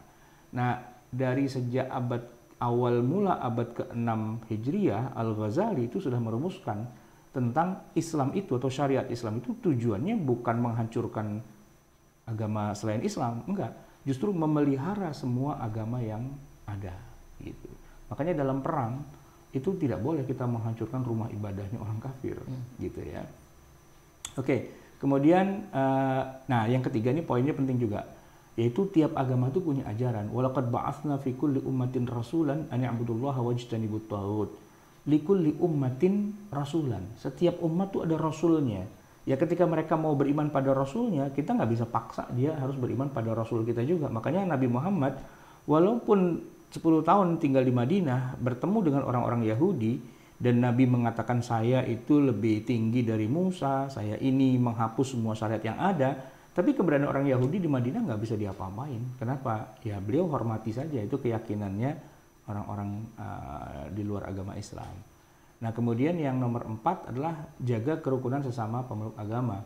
Al-Quran ya, menegaskan Qul ya ahlal kitab ta'alu ila kalimatin sawa'in bainana wa bainakum alla na'budu illallah wa la nusyrika bihi syai'a wa la yattakhidhu ba'duna ba'dan arbaba min dunillah fa in tawallaw faqulu syahadu bi anna muslimun. Ya, ta'alu ila kalimatin sawa'in. Ayo duduk sini bareng kita cari titik-titik persamaan kita ya ila kalimatin sawain bainana wa bainakum antara kami dengan kalian. Itu kan sama-sama sebenarnya kita tuh tidak boleh menyekutukan Allah gitu kan. Tidak menyembah satu dengan yang lain sebagai uh, apa namanya uh, Tuhan gitu ya. Nah itu poin-poin yang sebenarnya itu ada titik-titik kesamaannya gitu ya. Jadi memang tidak harus perang juga sih dengan uh, sesama pemeluk agama yang berbeda begitu ya. Terus uh, ada lagi uh, wala ta'kulu oh ini bukan. Uh, ini salah ini typo nih nah, kemudian kita masuk kepada itu kan langsung D ya ayat-ayat ya. terkait memelihara nyawa. nyawa. Jadi kan pertama agama yang kedua nyawa gitu ya. Syariat Islam coba dibaca dulu. Syariat Islam sangat menghargai nyawa seseorang. Bukan hanya nyawa pemeluk Islam saja bahkan meskipun nyawa orang kafir atau orang jahat sekalipun. Ya adanya ancaman hukum kisos menjadi jaminan bahwa tidak boleh menghilangkan nyawa. Karena hukumannya berat loh gitu ya ayat kisah itu memastikan orang tuh tidak berani untuk membunuh atau melukai orang lain. Kenapa? Karena di dalam Al-Quran dikatakan walakum fil qisasi hayatun. Di dalam hukum kisah itu ada kehidupan ya. Ya ulil albab wahai orang yang berpikir gitu yang berakal la'allakum tattaqun semoga kamu bertakwa. Jadi eh, ketika hukum eh, kisos itu kan kisos itu artinya apa sih? Nyawa dibalas nyawa, luka dibalas luka gitu kan, telinga dengan telinga, mata dengan mata gitu ya, hidung dengan hidung, kemudian luka dengan luka itu kan dengan adanya hukum yang ditegakkan seperti itu, orang jadi berpikir kalau saya melukai mata orang picek, maka saya, mata saya dipicekin juga nih hukumannya, gitu loh. Eh, maling digebukin, yang gebukin itu ya nanti dapat hukuman sama, ya. Malingnya benjol. Ya maling bisa nuntut balik kepada yang gebukin. Lu bikin benjol gua nah itu hukumannya buat yang ngebenjolin maling dibenjolin lagi. Itu namanya kisos. Makanya dalam syariat Islam tuh maling nggak boleh digebukin gitu. Kalau digebukin malingnya bisa nuntut. Salahnya tuh malingnya nggak ngerti hukum. Itu aja maksudnya. Kalau kayak di Amerika di negara-negara maju yang sudah melek hukum itu ya itu penjahat tuh lebih pintar dari polisi. Ya polisi juga nggak berani macam-macam kalau kalau memang nggak terbukti salah dan sebagainya nggak ada alat bukti dan sebagainya nggak bisa gitu. Karena penjahatnya ngerti hukum. Nah permasalahan kita di sini malingnya nggak ngerti hukum. Nah penegak hukumnya juga nggak ngerti juga akhirnya gitu ya. Nah kisos gitu sebenarnya kalau dilaksanakan oleh masyarakat yang melek kan makanya disebutkan ulil albab. Kalau dia ulil albab gitu ya kalau dia tuh orang yang intelek dan bisa berpikir kisos ini paling adil sebenarnya gitu. Paling adil tuh maksudnya ya bukan berarti kita harus bunuh-bunuhin orang itu enggak. Tapi gini anda ya nggak boleh macam-macam loh dengan nyawa orang. Harus hati-hati loh. Kalau sampai anda bunuh anda tuh bisa dibunuh juga gitu. Kalau anda melukai orang anda bisa dilukai juga gitu. Khususnya kita sebagai warga gitu kan. Ya lain kalau misalnya tentara menjalankan tugas dia kan nembak musuh mati ya itu kan tentara ya kan dalam tugas. Polisi gitu misalnya itu kan dalam tugas. Tapi kita nih sebagai warga sipil masyarakat gitu itu nggak boleh main sembarangan main mengadili orang begitu aja karena ada hukum kisos gitu ya oke di berikutnya lagi ada juga ayat yang uh, masih ya. uh, berbicara tentang hifdu an-nafsi ya. ya itu adanya ancaman kekal dalam jahanam mm -hmm. ya wa may yaqtul mu'minan muta'ammidan fajaza'uhu jahannamu khalidan fiha wa ghadiballahu alaihi wa la'anahu wa adda lahu adzaban 'azima barang siapa yang membunuh seorang mukmin dengan sengaja maka balasannya ialah neraka jahanam ya ia kekal di dalamnya Allah murka kepadanya dan melaknatnya serta menyediakan adab yang besar baginya. Ya yeah. jadi uh, ini masih tentang menjaga nyawa manusia ya. Uh, orang mukmin kalau dibunuh maka hmm, berat banget itu. Itu ancamannya masuk jahanam abadi di dalamnya gitu. ya tentu membunuhnya dengan cara yang tidak hak begitu. Ada ayat juga yang mengharamkan membunuh. Wala taqtulun nafsallahu ilhaq janganlah kamu membunuh nyawa uh, setelah Allah haramkan uh, darahnya udah uh, kecuali kalau dengan cara hak. Ya misal dia memang harus dikisos gitu hakim memutuskan mati mati gitu kan. Atau dia buat gitu misalnya negara gitu. Dan balelo murtad balelo dan sebagainya itu memang halal dan ya sebagaimana disebutkan oleh Nabi SAW itu kan ada tiga uh, apa namanya as-sayyibuzani wan nafs dan yang ketiga adalah at-tariku lidinihi al-mufad jamaah, orang yang murtad dari agamanya dan keluar dari jamaah. Jamaah di sini maksudnya jamaahnya agama Islam, ya keluar dari milik apa dari umat Islam, ya keluar dari Islam lah begitu. Oke, yang nomor empat uh, juga ada ayat yang bunyinya membunuh satu nyawa, membunuh semua manusia. Ya ini walaupun kaitannya dengan Bani Israel ya, tapi annahu man qatala nafsan bighairi nafsin aw fasadin fil ardi faka'anna qatala nasa jami'a. Satu nyawa sama dengan membunuh seluruh manusia. Jadi besar sekali itu dosanya membunuh nyawa manusia. Nah, syariat Islam turun untuk memastikan agar nyawa manusia itu tidak jatuh begitu saja secara sia-sia. Korban nyawa itu jangan sampai terjadi. Dan ini nanti unik ya bahwa di dalam uh, sejarah Nabi walaupun ada perang, kan Nabi itu perangnya banyak ya, ada Badar, Uhud, Khandaq dan sebagainya sampai ada yang mengatakan bahwa ghazawatnya Nabi itu kalau dikumpulkan semua dan dibandingkan dengan jumlah usia Nabi itu dalam 23 tahun tuh setiap dua bulan sekali Nabi perang perang mulu gitu banyak sekali karena kan gozawatnya tapi oke okay. Dr. Uh, Muhammad Imarah itu dalam uh, bukunya menyatakan bahwa walaupun perangnya Nabi itu jumlahnya banyak tapi jumlah korban jiwanya sedikit cuma 386 orang saja sudah diwakili oleh umat Islam dan juga oleh orang kafir Badar, Uhud, Khandaq dan sebagainya itu itu memang perangnya tapi yang mati cuma 386 sudah termasuk Islam dan yang kafirnya. Berarti minimalis banget perang dari hal korban jiwa gitu. Film apa ya? Di A-Team. Tahu film di A-Team nggak? Yang si itu. Duar, duar, duar, duar, duar, duar, duar. Tapi nggak ada yang mati. Kayak film kartun.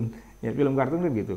Ya kan tembak dua dua dua dua dua gitu. Bolong badannya gitu tapi dia nggak mati gitu. Nah kira-kira kayak gitu perang dalam Islam itu tujuannya bukan membunuh orang gitu. Walaupun dalam perang itu dikatakan wah itu laku mas tum dan sebagainya suruh latihan mana latihan tombak dan sebagainya. Tapi ujung-ujungnya hafzun nafas itu lebih utama gitu. Menjaga uh, nyawa. Kan ada kejadian siapa ya orang sahabat Nabi yang uh, dalam perang itu membunuh orang lain yang orang itu sudah mengucapkan dua kalimat syahadat. Siapa namanya?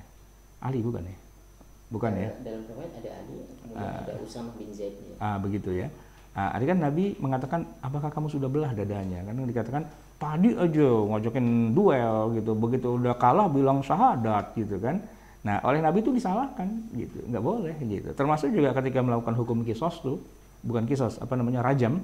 Kalau orang yang uh, berzina itu mencabut kembali kesaksiannya atau pengakuannya itu kan nggak boleh diteruskan yang apa namanya eh, vonis rajamnya itu harus dihentikan. Nah itu kan pernah kejadian di masa Nabi orangnya sudah nyerah angkat tangan lah. Nggak kuat angkat tangan gitu. Jadi udah angkat tangan. Tapi masih dilemparin juga. Bahkan kabur diuber-uber masuk keluar pasar gitu kan. Sampai ketemu jatuh gubrak diterusin lagi sampai mati. Itu Nabi mengatakan wallahi mereka itu yang merajam itu pembunuh kata hmm. Nabi padahal harusnya memang orang yang berzina itu memang harus dirajam. Tapi ketika nah, ketika orang yang mencabut pengakuan, maka tidak boleh dirajam. Idra'ul hudud syubuhat gitu. Jadi prinsip-prinsip eh, maqasid syariat itu asik banget sebenarnya gitu ya. Walaupun secara nasnya ayatnya itu rajam gitu misalnya walaupun ayat rajam masuk ya tapi hadis itu kan rajam ada bunuh apa segala potong tangannya dan sebagainya tapi kalau kita lihat makasibnya ternyata itu tujuannya lebih mulia daripada sekedar bunuh-bunuhan dan sebagainya dan faktanya Nabi tidak pernah merajam dari tiga dalam sejarah Nabi padahal rajam kan terkenal gitu kan cambuk juga tapi rajam itu hanya terjadi tiga orang dan perang itu hanya menghadirkan e, 386 korban nyawa. Ini menunjukkan bahwa memang maqasidus syariah itu luar biasa gitu. Nah, orang yang tekstualis nggak paham itu. Jadi akhirnya dia malah ngebunuhin orang dan sebagainya. Yang dibunuh juga bukan orang kafir, saudaranya sendiri sesama muslim. Nah, ini kacau kan sebenarnya nggak ngerti, nggak paham maqasid sebenarnya. Oke. Okay. Baik, di antara ayat juga yang uh, berbicara tentang hibdu nafsi, ini haramnya bunuh diri. Ya. Yeah wala taqtulu anfusakum innallaha kana bikum rahima janganlah kamu bunuh dirimu sendiri sesungguhnya Allah itu maha penyayang kepadamu ya kemudian juga haram mencelakakan diri wa anfiqu fisabilillah wala tulqu bi aidikum ila tahlukah jadi segala hal yang membuat madarat kita baik makanan minuman apa pun lah itu itu haram karena menjaga nyawa kita gitu ya Oke, kemudian ayat terkait dengan masalah memelihara akal. Ya sudah pastilah ya dari awal Allah berfirman Iqra bismillahirrahmanirrahim khalaq. Ini semua sepakat bahwa ayat ini memang bicara tentang ayo baca, ayo lihat uh, melihat fakta-fakta begitu kira-kira ya. Kemudian ayat yang lain misalnya, nah ini menarik nih. Tidak pakai akal itu dianggap seperti hewan. Ada ayatnya ya. Am, am tahsabu anna aktsarahum yasma'una aw yaqiluna inhum illa kal an'ami bal hum adallu sabila. Ya. Atau apakah kamu mengira bahwa kebanyakan mereka itu mendengar atau memahami enggak gitu ya uh, mereka itu tidak lain hanya seperti binatang ternak bahkan lebih sesat kenapa karena ya kalau di ayat yang lain itu kan mereka punya telinga tapi nggak hmm. bisa dipakai buat dengar mereka punya apa mata tapi nggak bisa buat ngeliat gitu kan jadi otaknya nggak dipakai lah gitu hmm. kira-kira kan nah orang kalau nggak pakai otak itu ya bedanya dengan binatang tuh tipis banget gitu karena ya nggak berakal maka Islam sangat-sangat menghargai akal, gitu kan? Dan oleh karena itu orang yang tidak berakal, yang bodoh, yang safi, gitu ya, itu dikurangi uh, haknya. Wala tu'tus sufaha amwalakum allati ja'alallahu lakum qiyama. Jangan kau serahkan harta milik orang yang bodoh itu. Kenapa? Karena dengan segala kebodohannya dia akan merugikan dirinya sendiri karena menghabisi semua hartanya. Hmm. Maka orang bodoh ya sudah di take over oleh orang yang lebih pinter untuk mengatur itu semua. Yang bodoh biar dengan kebodohannya, tapi haknya jangan sampai kehilangan. Termasuk anak yang belum cukup umur itu juga dianggap kan belum berakal ya kan. Maka wabtalul yatama hatta idza balagun nikah ya. Ujilah dulu anak yatim itu sampai mereka cukup umur. Nah, gitu sampai cukup umur untuk bisa menikah. Ini juga yang belum cukup umur masih belum diberikan kewenangan untuk membelanjakan sesuatu atau melakukan berbagai macam aktivitas. Dicukupkan dulu umurnya karena akal itu penting, gitu. Karena akal itu ya kayak gitulah. Nah, termasuk yang merusak akal itu adalah minum khamar diharamkan. Yas'alunaka 'anil khamri wal maisir qul fihima itsmun kabir wa manafi'ul linnas wa itsmuhuma akbaru min naf'ihima. Nah, ini minum khamar ini merusak akal ya menjadi dasar kenapa agama Islam itu tegas terhadap khamr. Hmm. Karena merusak akal itu ya. Merusak akal orang kalau udah minum khamr dia nggak bisa bedain lagi mana ibunya mana istrinya dan mana pembantunya. Akalnya hilang ya. Oke yang berikutnya lagi ayat yang terkait dengan memelihara ya ada ayat yang untuk atau keharusan kita untuk menjaga nama baik orang nasab itu kan kaitan dengan orang tua maka memelihara nasab judul besarnya adalah ya kita memelihara atau menghormati orang tua kita oke okay qadha rabbuka ta'budu illa iyyahu wa bil walidaini ihsana. Itu poinnya. Okay. Jangan kamu dekati zina, mm-hmm. sungguhnya zina.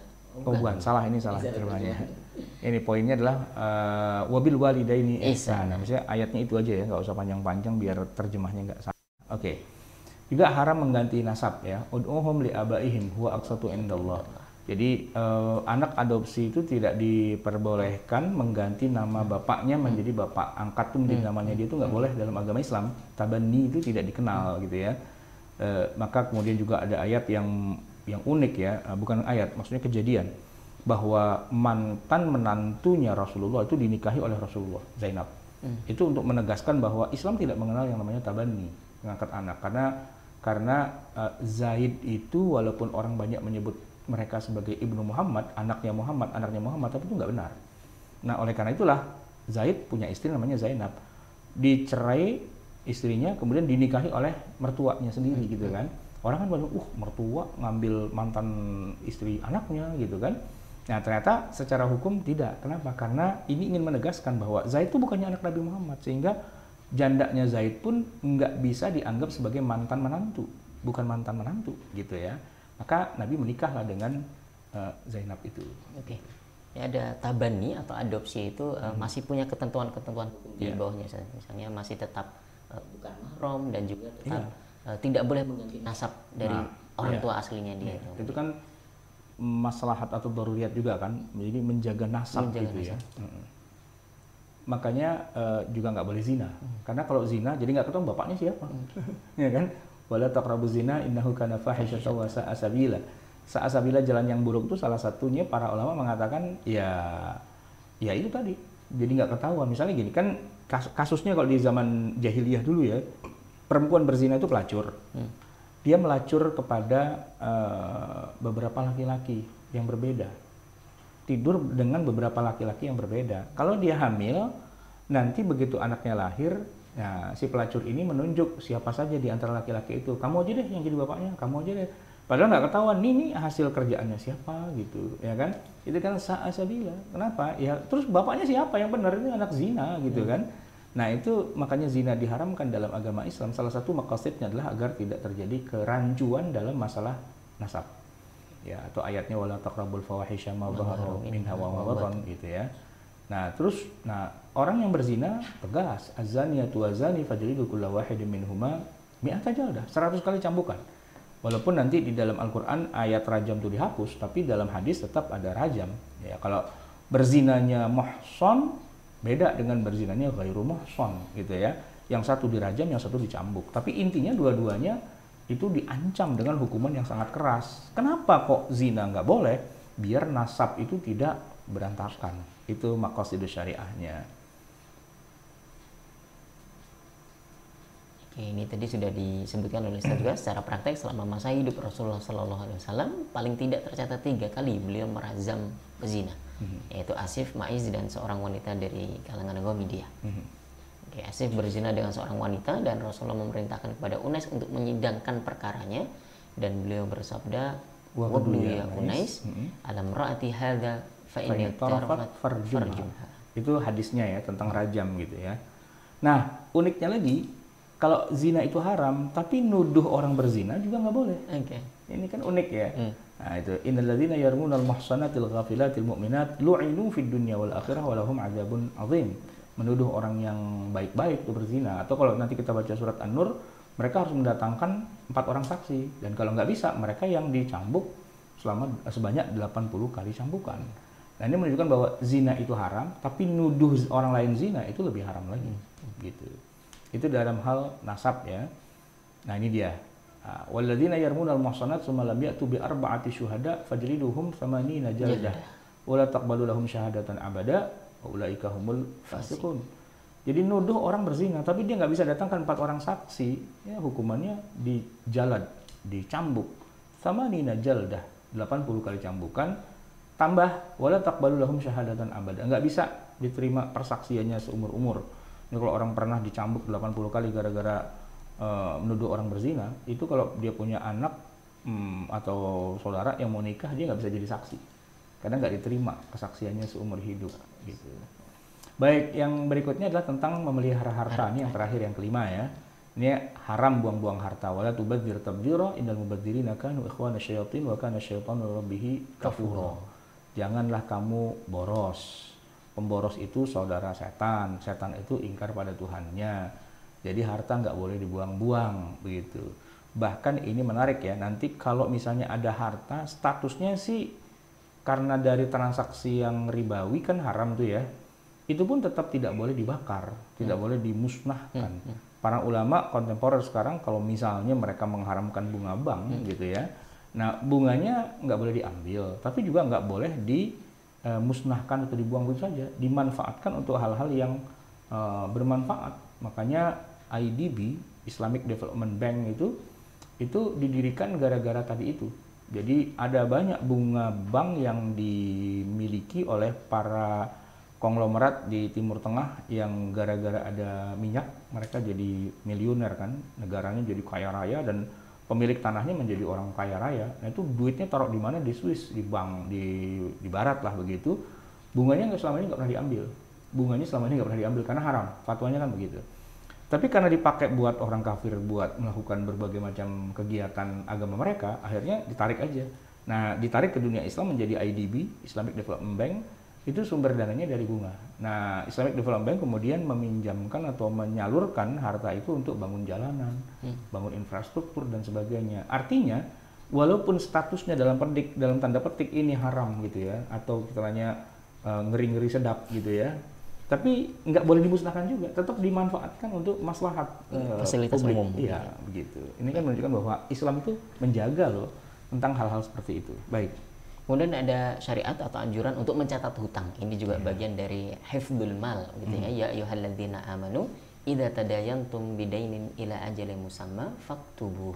Hai orang-orang yang beriman, apabila kamu bermuamalah tidak secara tunai untuk jangka waktu tertentu, hendaklah kamu menuliskannya. Ya, catat utang-utang itu biar jangan terjadi lupa dan sebagainya gitu ya. Kemudian juga haram memakan harta sesama. Wala taqtulu wala taqulu amwalakum bainakum bil batil wa tudlu biha ilal hukam litakulu fariqan min amwalin nasi bil itsmi wa antum ta'lamun. Enggak boleh ya makan harta sesama kita dengan cara yang batil. Yang ada goror-gorornya itu harus dihindari biar jangan sampai makan yang batil gitu ya. Nah, ada syariat potong tangan pencuri, itu paling tingginya ya. E, baik laki atau perempuan. Faqta'u aydiyahuma, potonglah tangan mereka. Itu adalah sebagai balasan bima kasaba terhadap apa yang mereka lakukan nakalan minallah ya pembalasan ini yang tentunya Allah yang menetapkan juga gitu ya siksaan dari Allah nakalan orang nakal itu disiksa Baik, termasuk okay. juga barangkali syariat adanya faroid begitu tadi. Oh iya, hmm. ya nanti tinggal tambahin aja.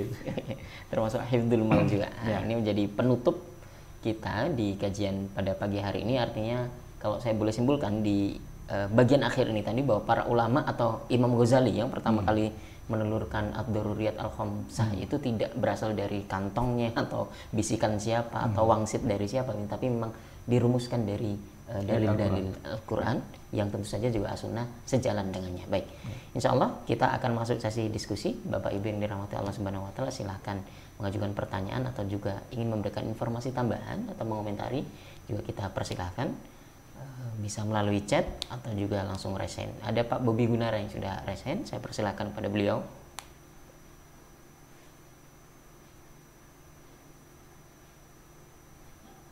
Terima kasih Ustaz. Assalamualaikum warahmatullahi wabarakatuh. Waalaikumsalam warahmatullahi wabarakatuh. Uh, ini Ustaz terkait tadi dengan apa namanya uh, yang IDB itu Ustaz hmm. dengan bunga ya. Yeah. Kan uh, ya bisa dikatakan sebagian besar ulama itu istilahnya adalah mengharamkan yeah. gitu, karena terkait dengan riba. Ada juga yang minoritas juga. Tapi kalau kesimpulan maksudnya yang saya dapat itu itu kan masih diperselisihkan. Yeah. Jadi ini berdasarkan konteks lepasin syariah Ustaz. Yeah. Jadi itu masih diperselisihkan. Tapi ketika itu ada manfaatnya, mm -hmm. ya itu bisa dibolehkan gitu. Yeah. Ya contohnya misalkan seperti beasiswa ya. Yeah. Seperti saya juga kan dapat beasiswa juga dari yeah. Jerman. Yeah. Itu juga kan di beasiswa tersebut tuh pada umumnya ya, kepada umumnya sedikit semuanya itu berasal dari bunga. Yeah. Nah, jadi ya dan juga beasiswa di Indonesia rasanya juga sama ya, PDP segala macam. Yeah. Nah, nah, kalau seperti itu tuh bagaimana itu apa boleh gitu? Apa istilahnya? Jadi istilahnya mayoritas apa tidak membolehkan misalkan membeli bunga itu tapi ketika ada itu ketermanfaatan yang besar seperti misalkan orang segala macam itu diperbolehkan ini mungkin jelas terima kasih Iya, um, sebenarnya sih kalau bunga bank itu tadi sebagaimana yang dikatakan ya, ya mayoritas kebanyakan uh, ulama kontemporer memang mengharamkan ya walaupun banyak juga yang tidak mengharamkan. Saya mungkin sudah pernah membahas kayak gini sebelumnya. Nah berarti kalau pertanyaannya eh, dana-dana beasiswa dan sebagainya itu kebanyakan dari uang yang dibungakan atau dana abadi dan sebagainya itu gimana jadi hukumnya begitu ya ya memang e, kalau mereka yang literal, yang tekstual gitu ya, dengan membaca fatwa para ulama kontemporer bahwa bunga bank itu haram, kemudian deposito haram dan sebagainya, logikanya sih harusnya mereka tidak boleh ya mengambil e, apa namanya beasiswa itu. Kenapa? Karena kan dari awal dia sudah bilang haram, gitu kan? Logikanya begitu. Tapi kalau kita perhatikan, banyak loh mereka yang mengharam-haramkan bunga bank dan deposito gitu ya, tapi ngambil beasiswa itu. ngambil beasiswa itu. Nah, saya melihat bahwa ini sebenarnya lebih kepada ketidakkonsistenan sih sebenarnya, nggak konsisten aja gitu. Nah, karena apa? Karena saya bilang nggak konsisten karena sebenarnya tadi itu kan yang bilang haram tuh ada, tapi yang bilang tidak haram tuh juga banyak gitu, banyak ya. Misalnya Al Azhar di Mesir, kemudian Darul Ifta al Misriyah gitu ya. Saya udah nulis buku tentang itu banyak. Kenapa dia nggak pakai aja pendapat yang mengatakan itu tidak haram gitu kan? Sehingga ketika dia pakai beasiswa dari awal saya pendapat saya nggak haram kok kan jadi dia nyaman gitu ketimbang dari awal dia bilang haram haram haram eh dia pakai juga itu kan kita nggak cuma bilang munak lo gitu ya kan nggak cuma bilang gitu doang sebenarnya kan nah makanya makanya Eh, kita harus luas dulu cakrawala kita. Jangan kemudian apa-apa cuman pendapat satu doang yang lain salah semua. Enggak. Karena dalam kenyataan sehari-hari kita tuh nggak tahu ya medan medan tempur yang mau kita temui itu apa. Itu banyak banget gitu kan. Nah ketika kita misalnya tinggal di negara yang semuanya pakai kartu kredit kan kacau kita ya kan? Di Indonesia mungkin kartu kredit nggak terlalu rame ya karena orang hmm. kalau kalau bayar secara kredit banyak tapi kalau kartu kredit jarang gitu ya Nah, tapi kalau kayak di Amerika, di Eropa, di mana, justru hampir semua pembayaran tuh harus pakai kartu debit, pakai kartu kredit, pakai kartu. Jadi uh, istilahnya udah nggak pakai duit uh, kertas lagi gitu kan, yang semua melibatkan bank otomatis gitu. Sebenarnya duit kertas juga melibatkan bank juga sih. Ya kalau bilang bank itu haram, harusnya sih ya nggak usah apa, nggak usah beasiswa. Kita pakai duit kertas itu yang terbitin banak Indonesia itu udah udah riba, udah haram itu harusnya. Jadi kalau mau jual beli harus pakai itu pakai emas dan perak gitu Iya gitu. Oke, okay, ya jadi ya ya itu apa ya fenomena yang unik ya kalau kita mau angkat. Mereka mengharamkan bank, tapi dalam beberapa hal kalau kepepet mereka bilang halal. gitu. Nah kalau kalau saya lebih cenderung mengatakan ya kalau anda mau bilang haram konsisten gitu. Tapi kalau anda mau bilang enggak, tenang aja. Yang bilang tidak tuh ada gitu. Dan kenapa nggak kita membuka diri terhadap hal-hal yang seperti itu gitu kan? Daripada daripada nanti dikatakan ah Muna lo bilang haram-haram tapi pakai juga gitu. Itu kan kenyataannya selalu begitu di mana-mana.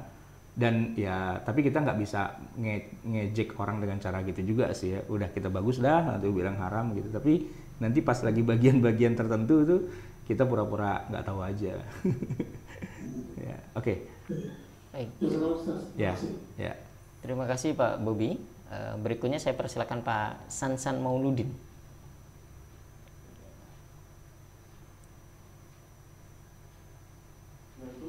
Waalaikumsalam warahmatullahi wabarakatuh.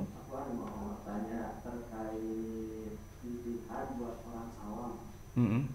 Karena kan eh, kadang-kadang kita juga harus dipaksa berjihad untuk hal-hal tertentu.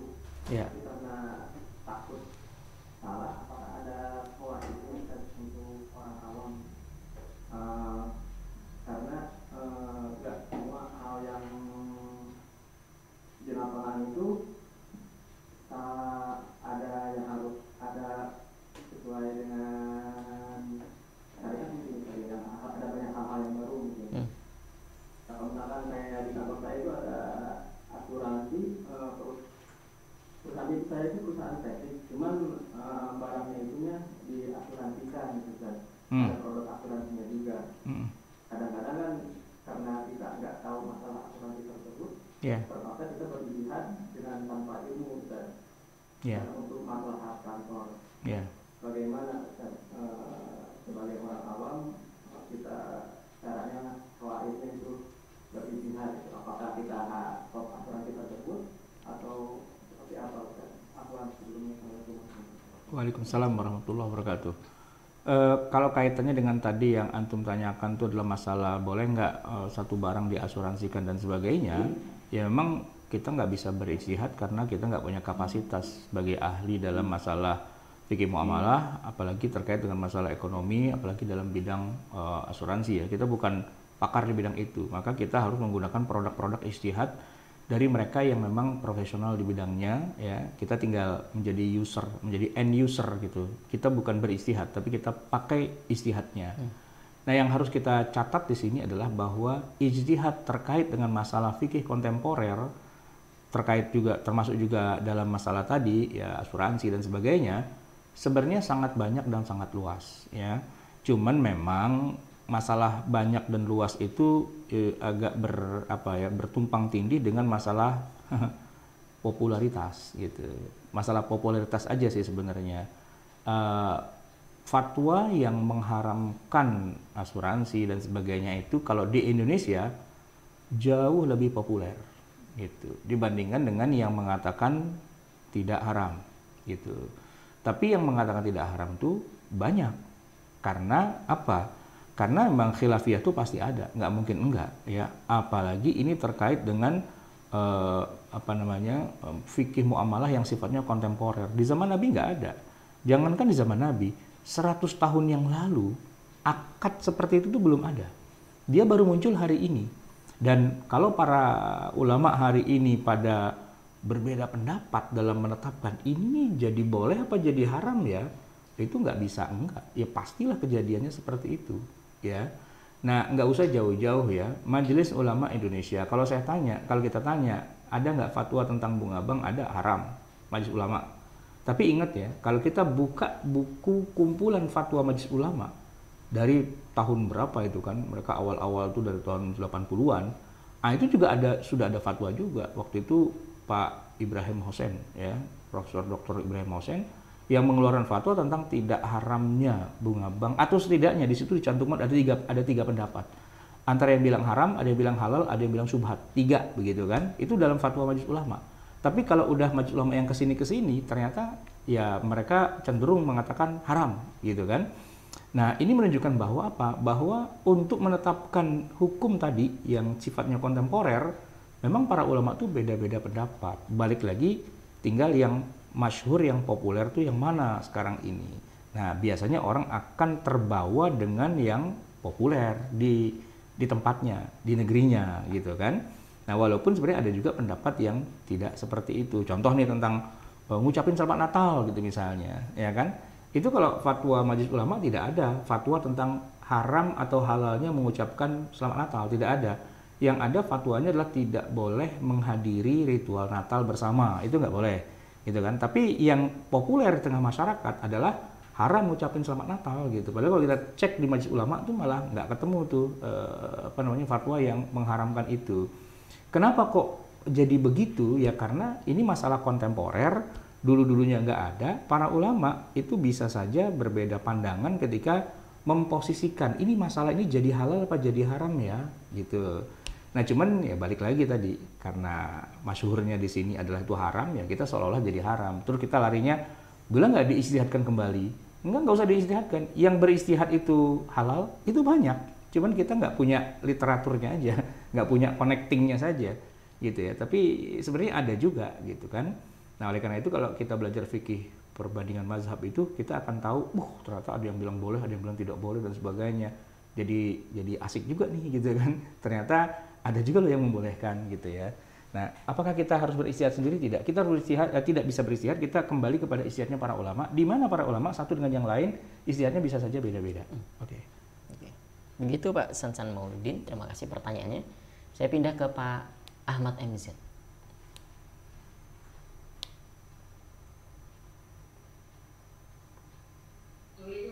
Iya, waalaikumsalam warahmatullahi wabarakatuh.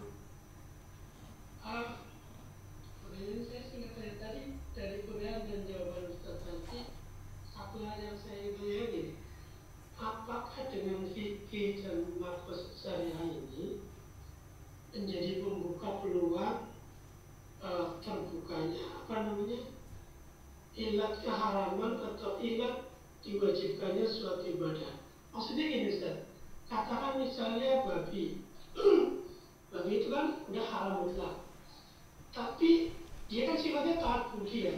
Yeah. apa namanya kalau itu manusia kita segala macam itu yeah. penelitian manusia.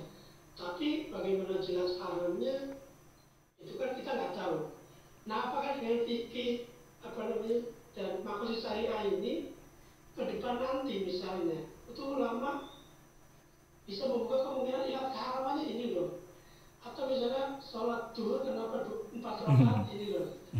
Ataukah misalnya ke depan itu kalau misalnya ulama mengungkapkan ini dan itu itu bukan ilat tapi memang cuma hikmah gitu. Ya tapi Ustaz? ya memang di situlah titik apa namanya titik perbedaan ya di antara para ulama khususnya yang kontemporer sekarang.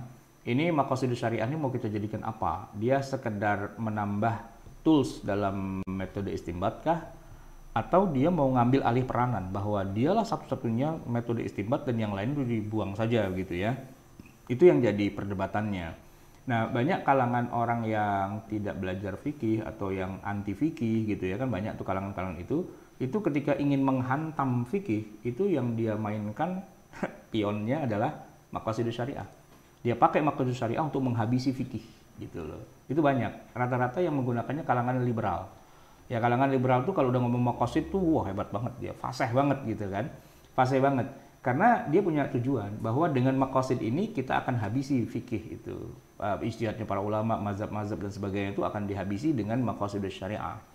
Nah, jadi kalau ngelihat begini kan kesannya wah ini makosidus syariah ini berbahaya nih harus diperangi gitu kan harus di jangan dikasih peluang karena nanti kalau dia ngambil alih wah ini fikih semua hancur nih berantakan gitu ada kalangan yang mengatakan seperti itu maka hmm. makosidus syariah itu diharamkan tidak boleh diajarkan kita di Libya nggak belajar makosidus syariah hmm. karena dianggap ini bahannya orang liberal dalam rangka menghancurkan agama Islam gitu kan nah tetapi kenapa di sini kita gelar makosidus syariah kita ingin dudukkan perkaranya bahwa Para ulama ketika memandang maqasidus syariah itu ada yang ya seperti Wahab Zuhaili mengatakan ya ini salah satu perangkat yang bisa memperkuat metode istimbat tapi dia tidak bisa mengganti.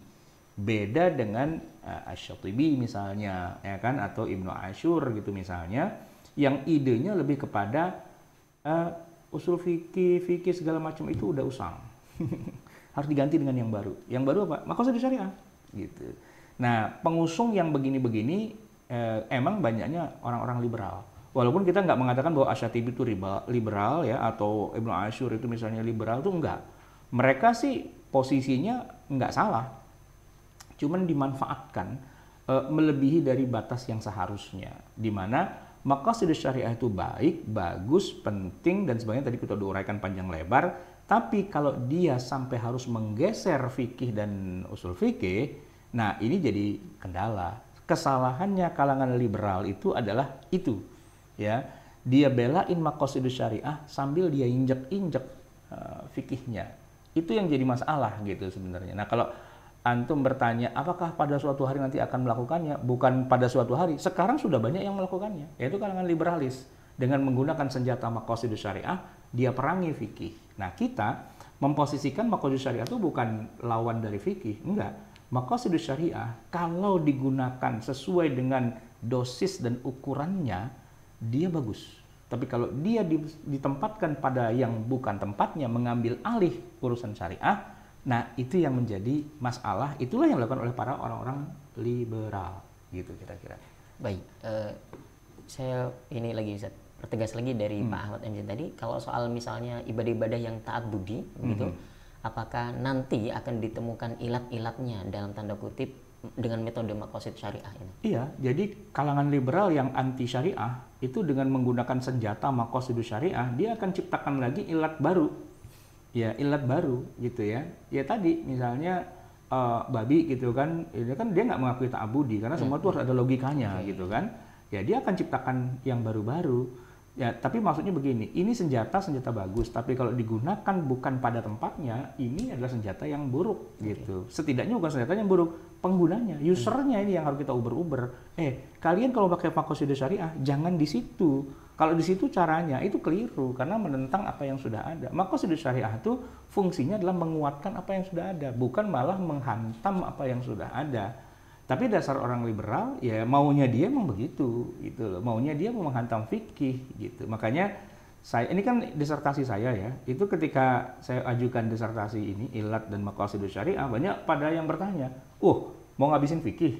gitu. Karena senjata ini banyak digunakan memang untuk menghabisi fikih hmm. gitu. Padahal saya ingin mengatakan enggak, senjata ini senjata yang baik gitu dan dia sangat bermanfaat buat fikih, istinbat hukum dan sebagainya. Sepanjang sejarah itu kayak gitu. Cuma kalau hari ini ada orang yang menggunakannya dalam rangka menghancurkan rumah yang sudah kita punya, siapa orangnya itu kita uber gitu dan bagaimana logikanya kita patahkan logika seperti itu nggak benar cara berpikir seperti itu tapi kita nggak akan mengatakan bahwa makosid syariah itu memnu haram itu enggak ya makosid syariah makosid syariah sesuai dengan porsi dosis dan ketentuannya ya itu bagus gitu baik terima kasih pertanyaan Pak Ahmad Anjir dan jawabannya Ustaz uh, berikutnya ada Pak Budi Purnawan saya persilakan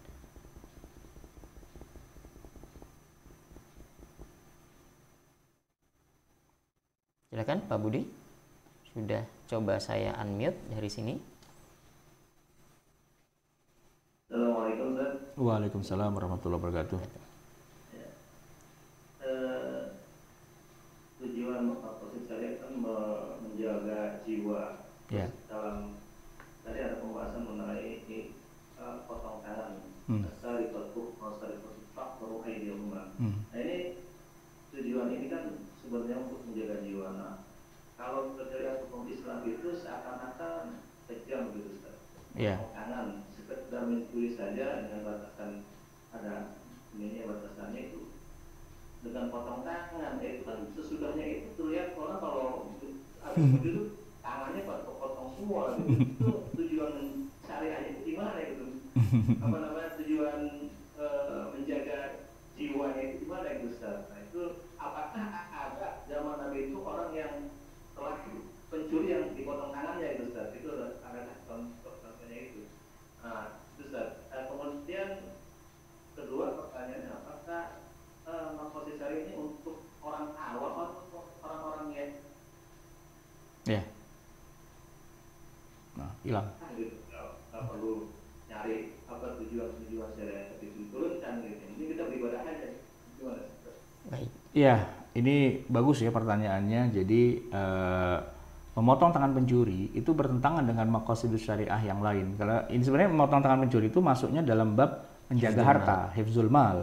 Tapi kalau dikaitkan dengan hifzul nafas, ini kan berarti e, menjaga nyawa gitu kan ya.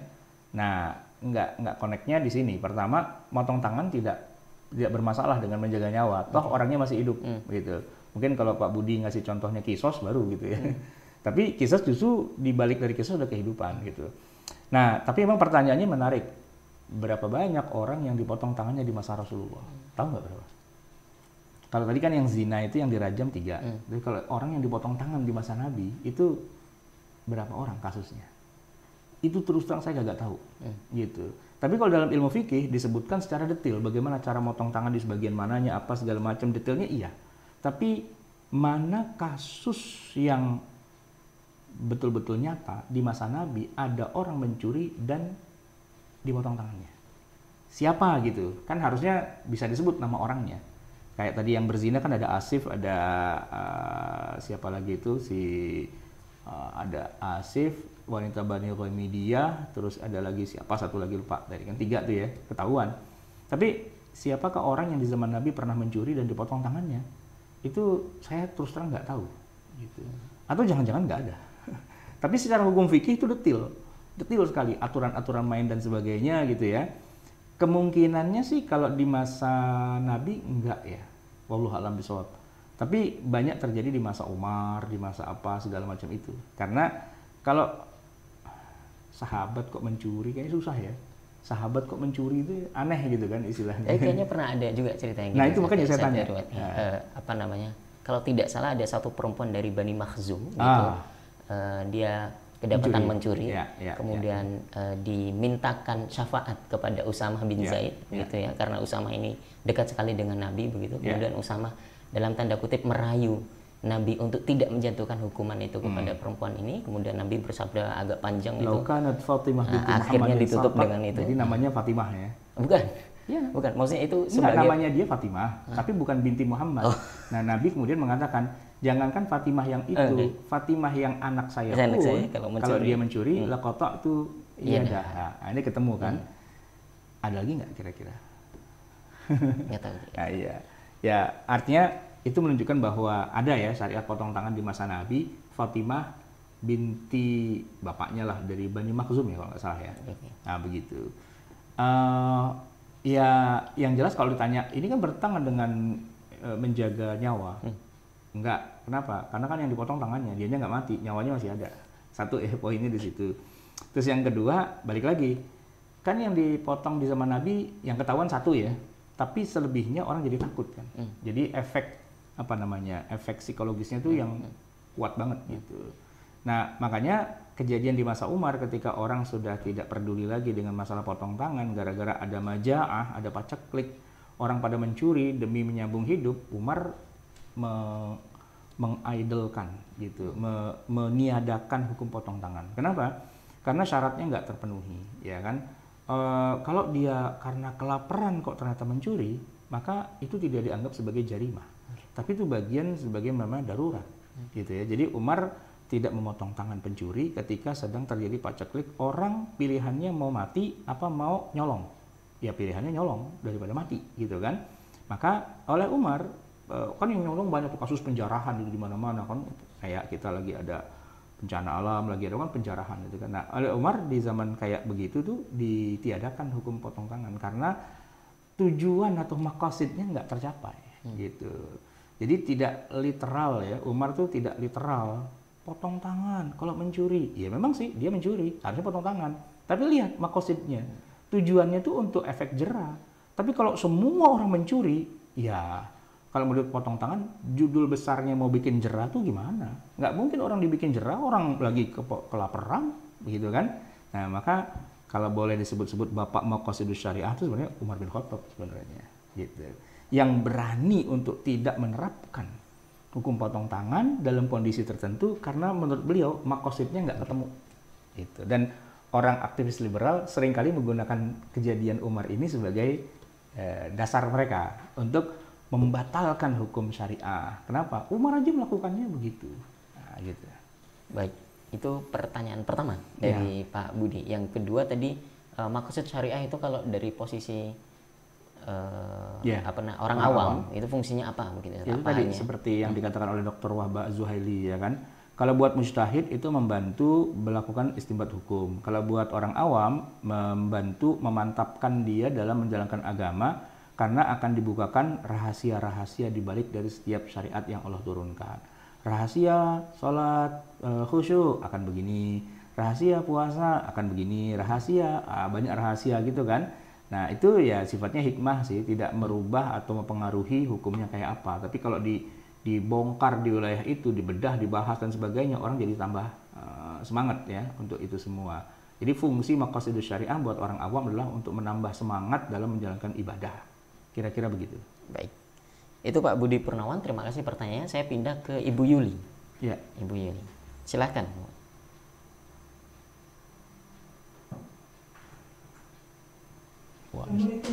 Waalaikumsalam warahmatullahi wabarakatuh.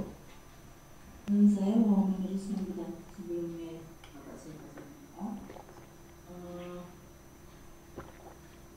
saya Masih, Masih, Ibu, iya.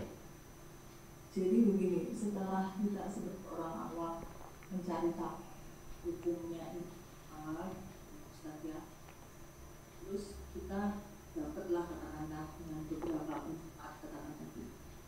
terus kita itu milih milih uh, yang apa supaya maksudnya yang benar itu kita milihnya bagaimana? Satu terus bagaimana pilihan supaya tidak cenderung ke kita tuh mengikuti nafsu kita gitu loh yeah. apakah pertanyaan juga yang kedua apakah kalau kita sudah memilih semua itu sebetulnya itu kita nggak mengikuti nafsu gitu loh maksudnya gini jadi kalau udah milih dari yang ada itu udah cukup buat kita yang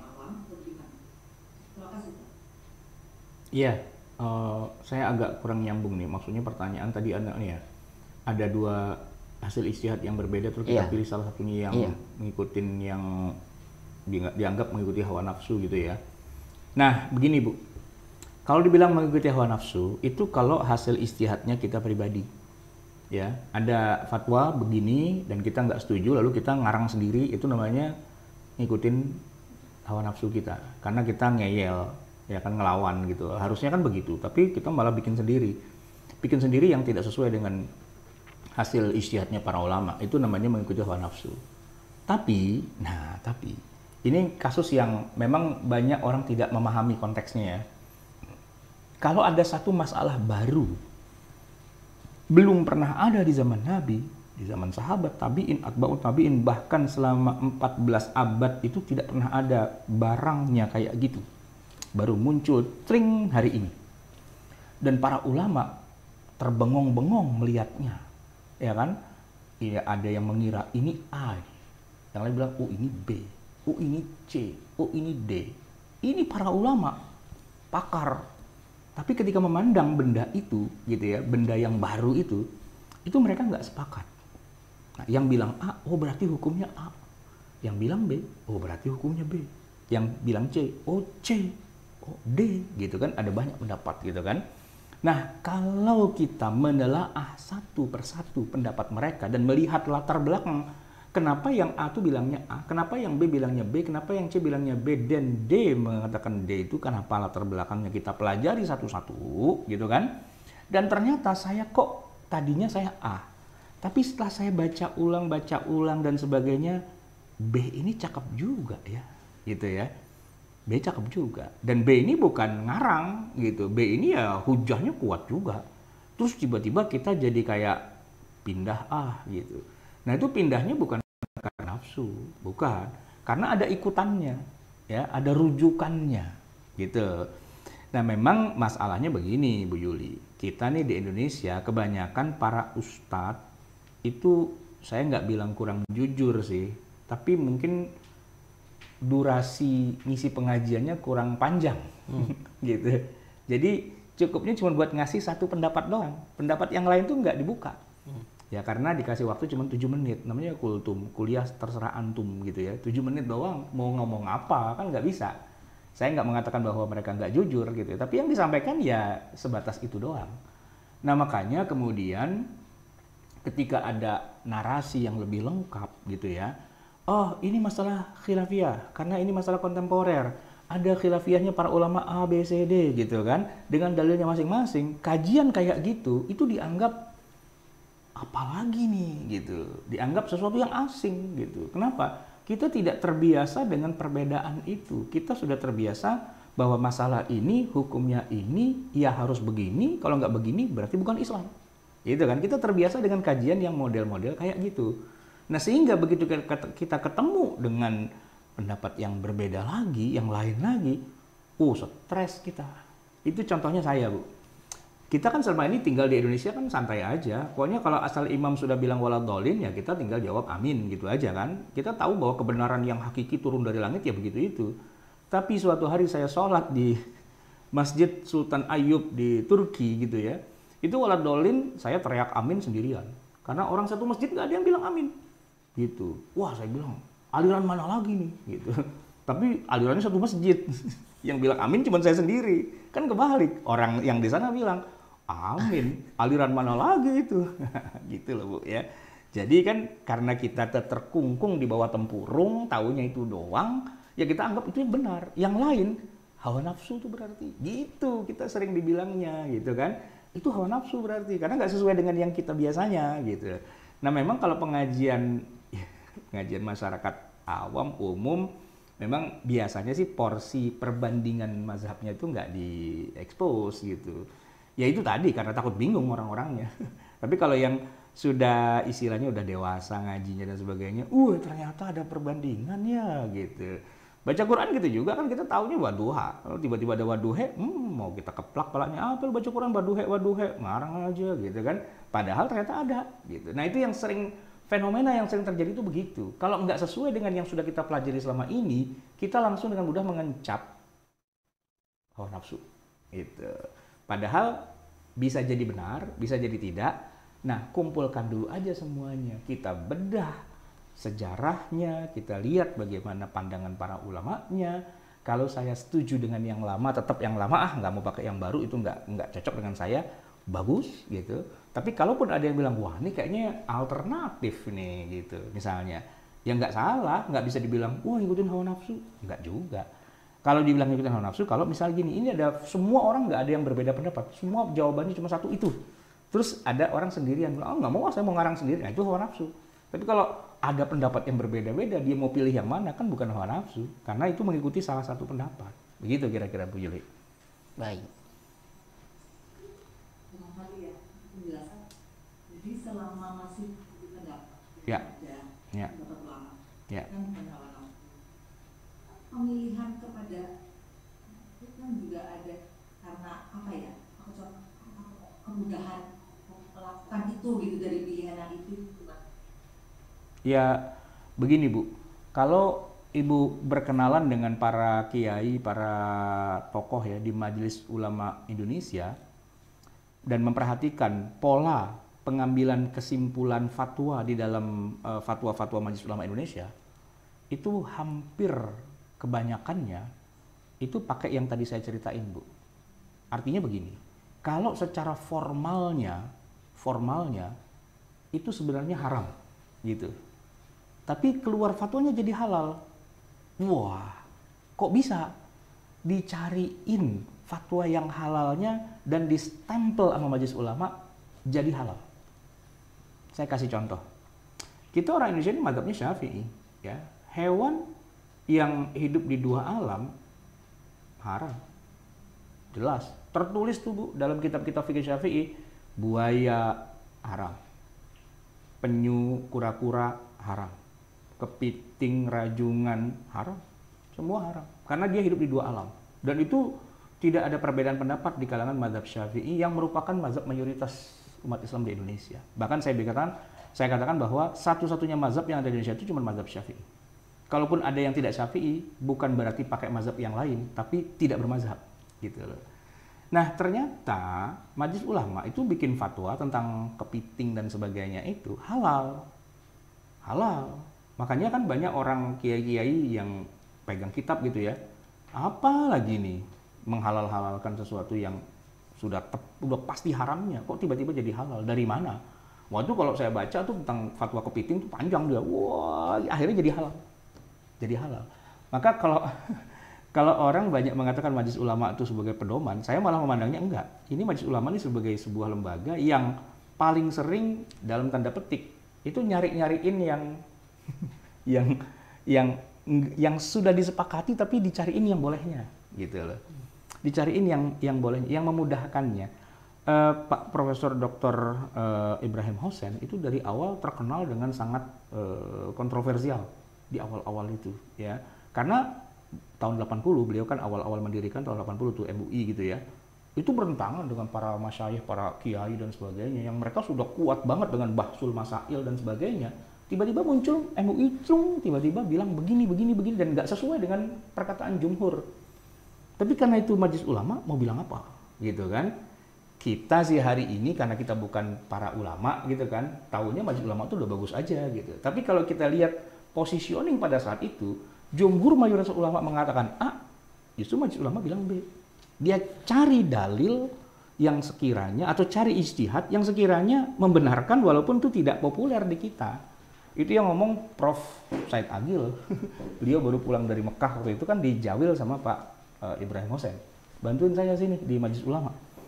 Apa nih tugas kita? Tugas kita adalah mencarikan pendapat-pendapat yang kira-kira cocok dengan maunya penguasa saat itu. gitu. Carikan dalilnya gitu.